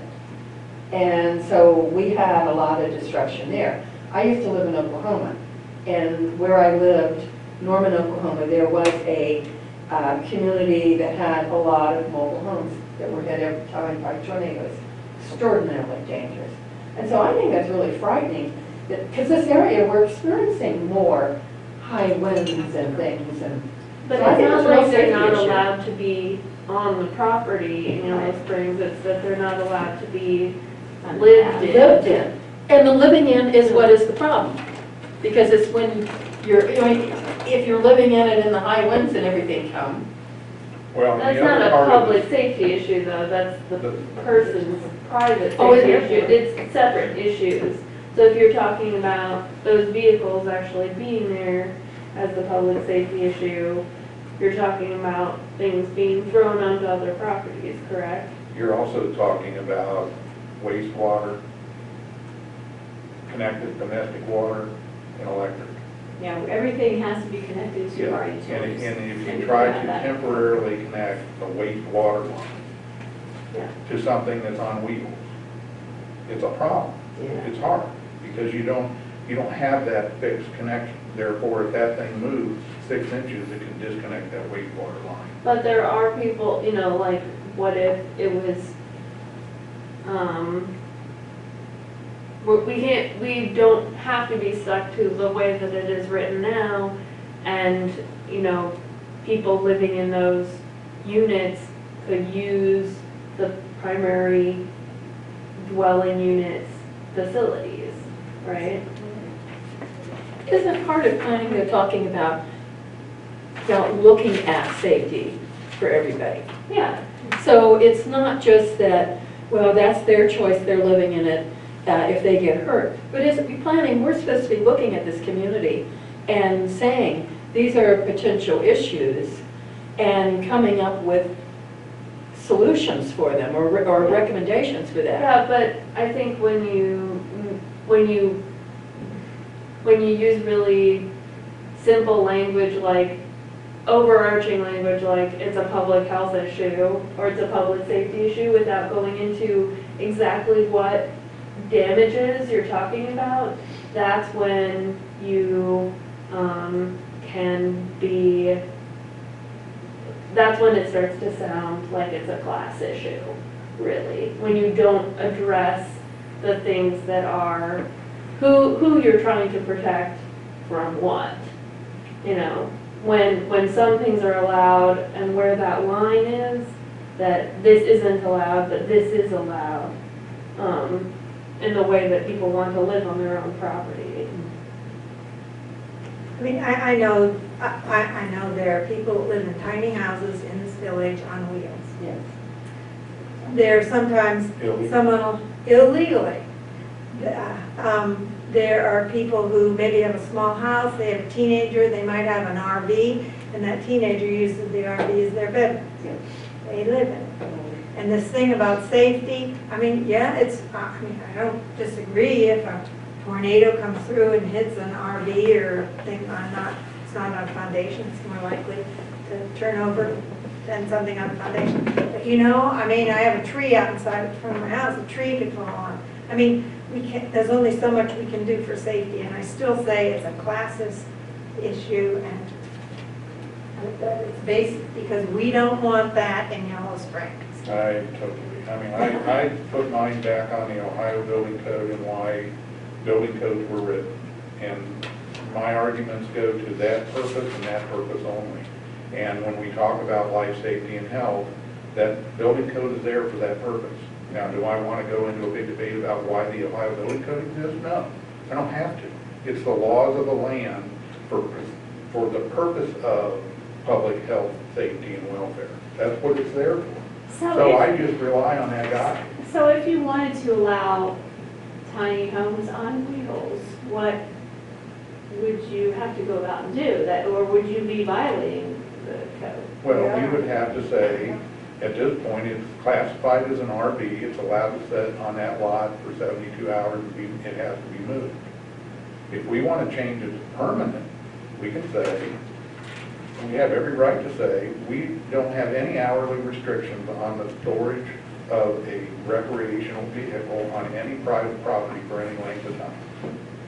And we're done. Which we don't, we don't, we already don't for storage. It's when it's used as a dwelling is where the seventy-two hours comes into play. Well, if it's, if it's being used as a dwelling, then it's incumbent upon the person that property it is to make sure that their safety and the health of the individual inside safety is, is procured. So if it is ten below zero and somebody fell asleep in an unheated facility on that property, that homeowner is liable for the death of that person who froze to death. We could do that in the house sometime. Sure. I you know can. So, a lot like- people in Yellow Springs who have lost their Oh, gosh. utility. Well, and I'm just, cur- I'm curious about like sanitation and that Yeah, kind of sanitation. issue. I was without. I mean, I've had complaints from people who've been worried about people living next door that are living in an RV and they wonder about the sanitation and those kinds of issues. I've That's why they have to move Come every up. seventy-two hours. Well, I've got a question for planning commission then. If the debate, I'm not judging it, I'm debate just is, telling you guys the facts. This is just what I'm. but if the debate is something that can be affordable versus safety, I, find it interesting that we are very willing to let people who, who are poor live in substandard conditions. Uh, There's a standard. That's a good point. And if you're, I mean, look at who's sitting at this table. Figure out how you make a, a compliant structure affordable, rather than saying, we should, poor people should be able to live wherever they want, and so what if they can't flush a toilet, or if it will blow away in a tornado, because they deserve that right? To me, that's a bizarre way of saying, it's okay if you're not safe as I am, Yeah. because I want you to have a house. I mean, it's a, you can argue it both ways, but I really see it as your job as a planning commission to, is to assure that, that safety. The other piece is the political piece. So you guys get to figure out, well, then how can we make it safe and not substandard and affordable? Well, think that's well Denise's said, Judy. question Well, I mean, is, is, is not necessarily about if we're going to change it, but like, if, if we want this to be more, I mean, when, when you get complaints like this about other things that people are, I mean, the thing, the thing about this is that you're being asked, when you're being asked to enforce this, you're being asked to run people out of their homes, right? Like, you're Well- being asked to be told someone, you, you cannot park your RV here, you cannot live here, right? well, in, in, in in this one particular case, the RV is parked in a public right of way. So, I mean, you're not allowed to live in your car on a public right of way. How is this your problem? Why are the police not dealing with it? It's just. They are, they make them move every seventy-two hours. Do they? Yeah, but, um, yeah, pretty much, that's what has happened. But they're not even, if you look at the zoning code, it's supposed to be on private. It's not supposed to be on a public street. It- at- Anytime. At that point, it's a car. Yeah, but see, here's the problem. It's only this, this part in where it says it shall be unlawful to park on a street, under twelve sixty oh three, parking and storage. That's only in the zoning code. That's nowhere else in our codified ordinances. Is there a state law that you're not allowed to sleep in your car on, in a right of way? I don't know. I would I'm not- imagine I'm there a is, but I police don't know officer. off the top There is of an my ordinance, you, you are not. I mean, that, it seems like that's more what we're looking at there. I just, I'm not sure why it's in the zoning code. You're not sure what, the par- the parking and storage recreational vehicle? Yeah. Eh,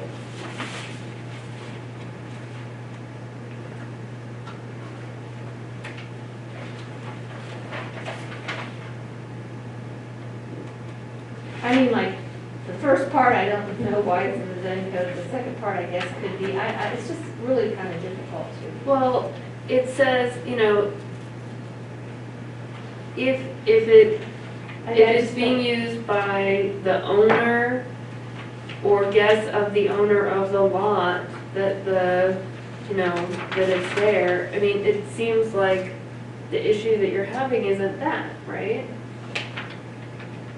In, No. in no way does this allow for what you're having complaints about. Right.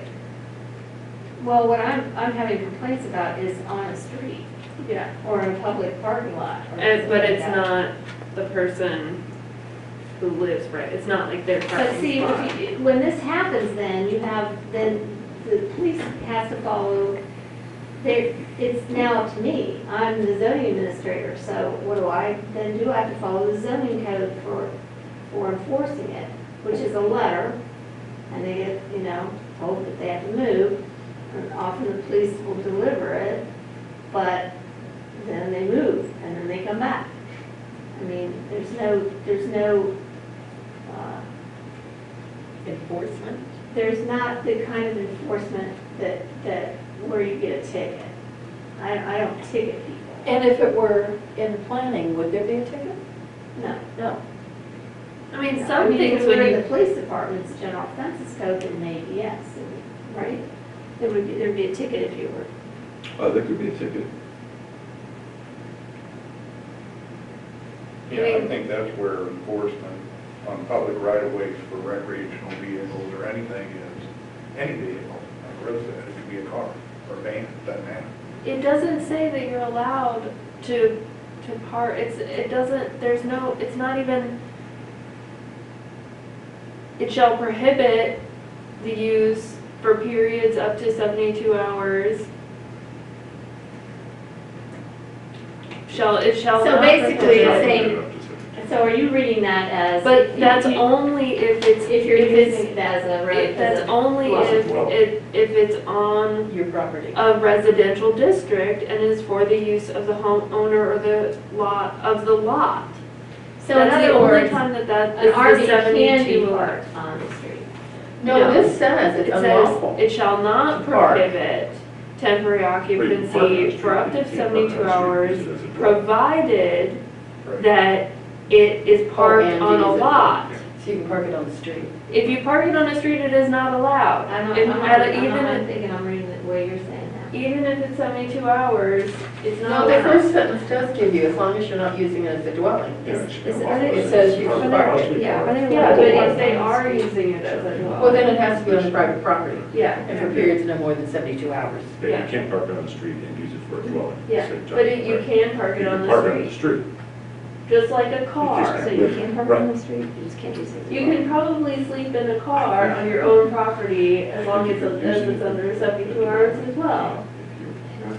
No, it's not. But no, it doesn't have a sleeping accommodation. It doesn't have sleeping accommodations, so you can't. Tornado might come. Hmm, So you're saying, you're, you're saying that that they shouldn't be parking on the street? It's very confusing, because if you read down to the next line, he's, he just pointed out, and the next line is, um, In a residential district, there's another. So, I mean, this comes down to I the, think, like, you- but that, that references, I, I would call that heavy equipment, trucks, loaders, and so then you have to get into the definitions. I think the- the recreational vehicle is a defined vehicle.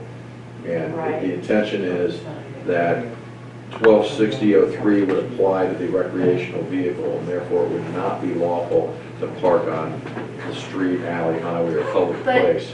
once we know that it's unlawful, then what happens? That's the question. And We I- understand that it's not allowed, right? So does our, our police not have the ability to enforce zoning code? I'd have to track it back through the code to, to look at that, I haven't looked at the issue. But Okay. there's often a provision that says that there's such a thing as an unclassified misdemeanor, Yeah, but I can't answer the question today without digging in. okay. Well, maybe we just need to continue this discussion, but I get, I, I mean, one of the things, recreational vehicles are defined in the zoning code when they do include like, um, in definitions, it, it includes boats and campers and things like that. And you see that around town, boats that are parked on the street and they just, they just there seasonally for a long period of time. And I know that it's been a problem. But but if they're not using them as a dwelling. Right, right. I think they're allowed to, I mean, no, and, they're not, though. It says, No, you can park it on the street, you it shall just can't be, park it on the shall street be and use it as unlawful a for dwelling. any person to park or cause to be parked a mobile home or recreational vehicle on any street, alley, highway, or other public, oh, and to use and to use as a the dwelling. as a So you can dwelling. park on the Okay. street, you just can't park on the street and use it as a dwelling at the same time. Yeah. so the only thing that there is in the code, um, in the general offenses code, or there's four fifty-two twenty, which talks about trucks and construction equipment. Uh, exceeding ten thousand pounds, so. Can we, can we add recreational vehicle, parking truck or recreational vehicle? I mean, it is essentially a But truck. one of the things is like, even for, People living in RV, I mean, it's already prohibited, what you're trying to, what you're trying to, I think what Denise is saying, though, is that to the extent that there's no sanction for doing it. yeah. And so we have to determine whether or not there's, there is a sanction that can track back to twelve sixty oh three. Uh, And Frank, I want to clarify something that you said, um, that when you look at twelve sixty oh three B, you have to go to the next sentence, so that says recreational vehicles may only be parked. So, and then it goes on private lots for off-street parking, backyards and alleys. oh, So- that's what I said, suggested. Oh, that's, so that's your, that's Yeah, your yeah, that's proposal? underlined, it's Okay, underlined, it's yeah. underlined. Sorry, Yeah, sorry, sorry, oh, my bad. yeah. Okay, But, so, but with, I was wondering, so is it, is it a matter of, is it a planning commission thing or is it a village council thing? That needs to be, Well, It, it depends on where you put it, it. it's in the zoning code, so that's why I'm bringing it to you guys first. If it's a zoning code text amendment, it would need to be here. If we put it into the criminal code, it would go to council. Yeah. Okay. okay. there, there could, but it's possible already that there, there is something that exists that, that would let Denise have the police give them, uh, what is it, an undefined misdemeanor? An unclassified. misdemeanor. Unclassified. But certainly, misdemeanor. nothing would pro- prohibit the police from citing any individual and just giving them a warning. Yeah, The- they, the- they give warnings. But there, are- there are likely other statutes that uh, exist within our code and the Ohio Revised Code that could lead to a citation of something else based upon the conduct. It's how many times can the police warn someone and they mark, Well, they- basically what the, what the, what staff people have said is uh, that they just don't feel that a public right of way, a public street, which all of us taxes pay for and maintain, should be the place where somebody stores their Yeah. piece of whatever. And there whether it's isn't a- So there's a no boat a objecting trailer to or them there whatever. just being a parked time on the limit street. on, on parking on the street. Not if you Yeah. interpret it like this, and, Yeah. and, and it becomes a pro- a problem for them, like with snow remo- remo- removal and trying to clean up and getting around this stuff, and So the, it's the concern is, is just the parking of them on the street, not necessarily the living in them on the street. well, I have the thing with the Right. living in it. But other It's people are like, how- concerned How about- do you even determine that, I mean, if you just, I mean, you, you've changed, you've made suggested changes on. I, I made Exhibit A. Uh, To me, it seems like there could be instances, like say, say my relative has driven from California in their RV. They- There's not enough room to park in my parking lot, but they want to park on the street in front of my house. I mean, that seems to be allowable for a limited period of time, but the idea of having RVs and boats and those things parking on the street for, as, as the, where they park, I can understand why people would be upset about that. Yeah. So it seems like we need to have some kind of balance. So in that proposed language that you have, probably you me- need to, because there you are prohibiting them- anyone from parking on the street. that's true. And so maybe uh, to say that it could be done maybe for up to like two weeks, or I mean, a, a short period of time. But if you may be having somebody visit for a couple uh, Yeah. weeks, that, and then it has to be moved. So, yeah, that makes sense. I mean, by, just by saying that where it can be parked on private lots, then the assumption is it can't be on a public street. Is what you're saying, by, by striking that. Well, you actually say in this part that it may not be parked on Oh, the right, street. right, right, right, yeah, I did say that. Which is probably okay, because I think that you don't want these enormous vehicles Yeah, parked all year round with boats and various things. I don't know how many there are, maybe there aren't even Oh, enough to worry about. and then, But but It the might be a size matter as as well. Yeah. So I got a suggestion, uh, because of course we don't want to be classist in any way. If this goes back to the PD, for literally what are the safety, what are the safety and plowing and sanitary, what are the concerns, what is it that you'd like to see? That filters through Denise and comes back either to the criminal code or to this body. I feel like you guys don't have all the information that you need from staff, from the PD, what are your concerns? Why is it important that we not allow? Why do you want this to be changed for this? re- That if you've got that, then you've got traction. Right now, you're trying to figure out, why is it a bad idea? Yeah. Should there be a fine? And that's not your job. Well, it's, if we, cut- if we take it out of our, and we put it in, we're not gonna be the ones putting it into the general offenses code, right? That would have to be. No, I mean, I thi- I think if the take PD says, we want that in the general offenses code, then you have some marching orders. If they say, well, these are our big concerns, we'd like planning commission to decide if in fact that's an issue in residential districts. We think it is, maybe it's not. Then it comes back to planning commission with their concerns, and then this body's got at least that, those firm concerns to kind of wrangle I with. think, I think more, I think it's separate, when I'm talking about a class issue, I'm talking about mobile homes and tiny homes, things that with wheels on them. being on a property. But I have I friends think- who are truck drivers, and you Yeah. can't bring your semi, and you can't park that semi in a residential district, and that's an Yeah. issue. Yeah. So it's a class issue. I, Yeah. I mean, it Yeah, is, I was okay. joking a little bit, not, Yeah. not entirely, Yeah. I mean, Um, but when we're,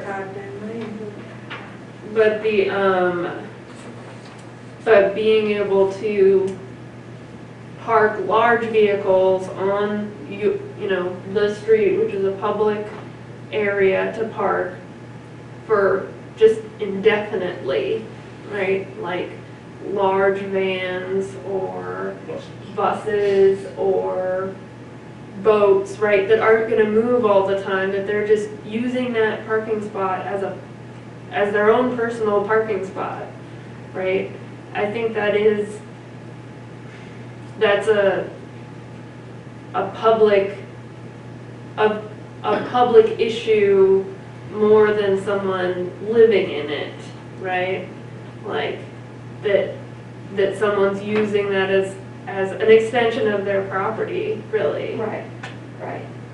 It it would seem to me that the follow-up on what Judy said is that the input from planning commission has raised a number of points that require further investigation, and that the planning commission simply ought to task staff to come back and prepare another report that addresses some of the issues that may or may not include some Great. recommendations to the code. That will determine whether or not it's a planning commission issue or a council issue, Right. but we don't have enough information, and we'll just table it for now and then move forward, because staff needs to do more work.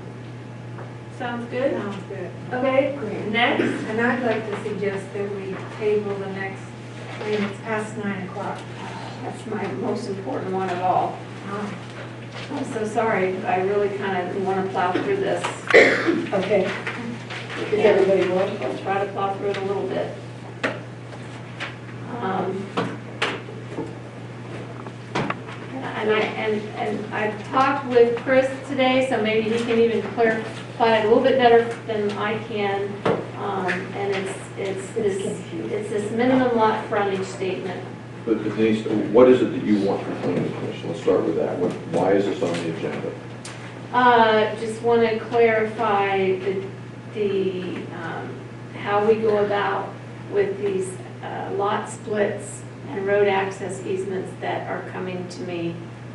I've had probably a half a dozen of them. And and here's what my suggestion would be, is that following our conversation today, we, Denise and Amy Blankenship and I spoke about an hour and a half today about this issue. I think that we developed some clarity that didn't exist before this was put on the agenda. I think that given the time, given the desires of what I'm hearing, I think that, that we can come back and we can give you another report that summarizes what I think the staff's position would be based upon input from the solicitor's office, and then we can address it to you in that context with what we interpret the code to say, and then you can hear what that is, because you'll be the body that sometimes will have to determine whether or not that's appropriate in the context of a staff report. And that that would provide more clarification. There, there is, you can look at it so many different ways and you can interpret it uh, different ways and, and uh, I don't want to go down a road with people in the community and not have it right, so. Well, I think that, I think in a broader sense, that the, the real issue is, it's that um, ultimately, this could end up on planning commission's table, and that it's an issue that planning commission needs to be aware of before that happens. And um, we've come up with, we think, an approach that makes sense, it's consistent with what the code says, but um, there is an interpretive piece to that, as there seems to be in many zoning codes, and that's what we really want to discuss with you. Are, are you okay with that, Denise, sort of Yeah. leaving it here? Uh, ju- Yeah, I'll just uh, bring it to the next meeting, yeah. But I want to act on it fairly soon because I have people that want to do things with their property. Well, Denise, would you be then coming and saying, this is what I think makes sense in this kind of situation? Well, with Chris's input Yeah. as well, But you're because, gonna come with some recommendations or Mhm. options. yeah. I'll be right behind Denise. Thank you so Yeah. much for all the work you've already done, Yeah. and I think that will be helpful, because I was real confused. I was feeling your It- It is confusion. Yeah, it confusing. is It- But let me say this, it, it, this, to, to streamline this issue, if you take the first page of what Denise has put, and you look at the, what the language is, Any lot created after the effective date of this code shall have frontage on an improved public street or approved private street or access easement equal to the minimum lot width, required lot width. The question is, where does that lot width start? Is it, do you have to have it on the street, or is it on the lot that the easement or the access is going to? If it's, if, if it's, that's the piece. So Ted's shaking his head, he thinks it needs to start from the street. Um, and, uh, there's, a- But I showed you the example of Miami Township, but you had said you could kind of go out here and then go back up, narrow and go back. Yeah, he's like, it- I mean, he had one on Kingsolver's lot. Mm-hmm. That I showed him that, street that's the example in the packet. Yeah, get a there's street exhibit A. frontage, and then Exhibit it A. narrows down to nothing, and then it goes to his lot. But that's how I've always seen. I mean, I've always seen on public Exhibit roads. B two. Exhibit B part two. But I don't want to start, right, it, you know, if you got, I mean, I'd be, I would love See to where talk to he you about that. basically, the township requires three hundred foot frontage. So what they did, they made three hundred foot frontage up there, and then they narrowed it all the way back to this. Yeah. Yeah. And- and Ted, when you, when you do that, when you narrow the, the access down, do- do- would you call that a bottleneck? Is there some type of term of art? At that point, it's a private lane. That's it. It becomes a private lane, but the only way that they could create that private lane and that flag lot was to make sure that that street frontage was subdividable in minimum lot frontage. And if they couldn't do that because there were too many other neighbors, then they wouldn't be permitted to create that flag lot. Well, and one of the other things that came out of our conversations today was is that there are significant concerns about public health safety because you've got to have emergency vehicles able to get down there, et cetera, et cetera. So I think, you know, tabling it is, is the best idea. Green Street. And I did get a response from our uh, chief of fire, and he did give his suggestions on that. I'll tell you a way to interpret that is if you have a road, you have to have minimum side yard setbacks from that property line. And if that minimum side yard setback is 25 feet, then that's the minimum lane width that you can allow because that's the only way for that lane to meet, that property line to meet that 25 foot setback. That's how you do that in a more rural area. Hmm. All right, well, we look forward to having more information about that topic at the next meeting. Yeah. Um, a- anything else on agenda planning you want to talk about? Um, There was one thing you just, I wrote Um, down at the beginning that Marianne. had Yeah. Housing initiatives and planning commission involvement. Okay. So I'd like to develop something to bring.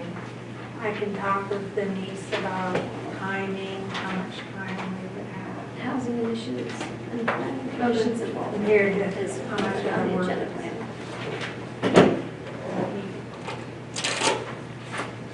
All right. Um, Um, and just before you you head out, um, if there are any written, any you want printed off for that work session, make sure it gets back to, to me, to Denise, just anything you want at that table for that session. I'll make sure that I know. Get it, get it for me. do I have somewhere that you printed out all the uh, addendums for the comprehensive? Well, I didn't, I gave it to you. You did, so I have them You somewhere guys else. want to Okay. hang on to all those big Yes. looking things that I Thank you. out for you. Some sycamore's weeping somewhere. Yeah. Well, like a bunch of them all together like this, Yeah, and if you don't have them, let me know and I'll make sure that you. do so how have many them. addendums do we have? All right, fine. All of them? Oh my I don't know. So I need to, I don't, I need to adjourn the meeting and. We should have everything that's proposed proposed on in that, that right? comprehensive plan. Okay, Do I have a motion to adjourn? so moved. Second. All in favor, say aye. Aye. Aye. Aye. All in favor? Okay. I do not know that. Right. Oh.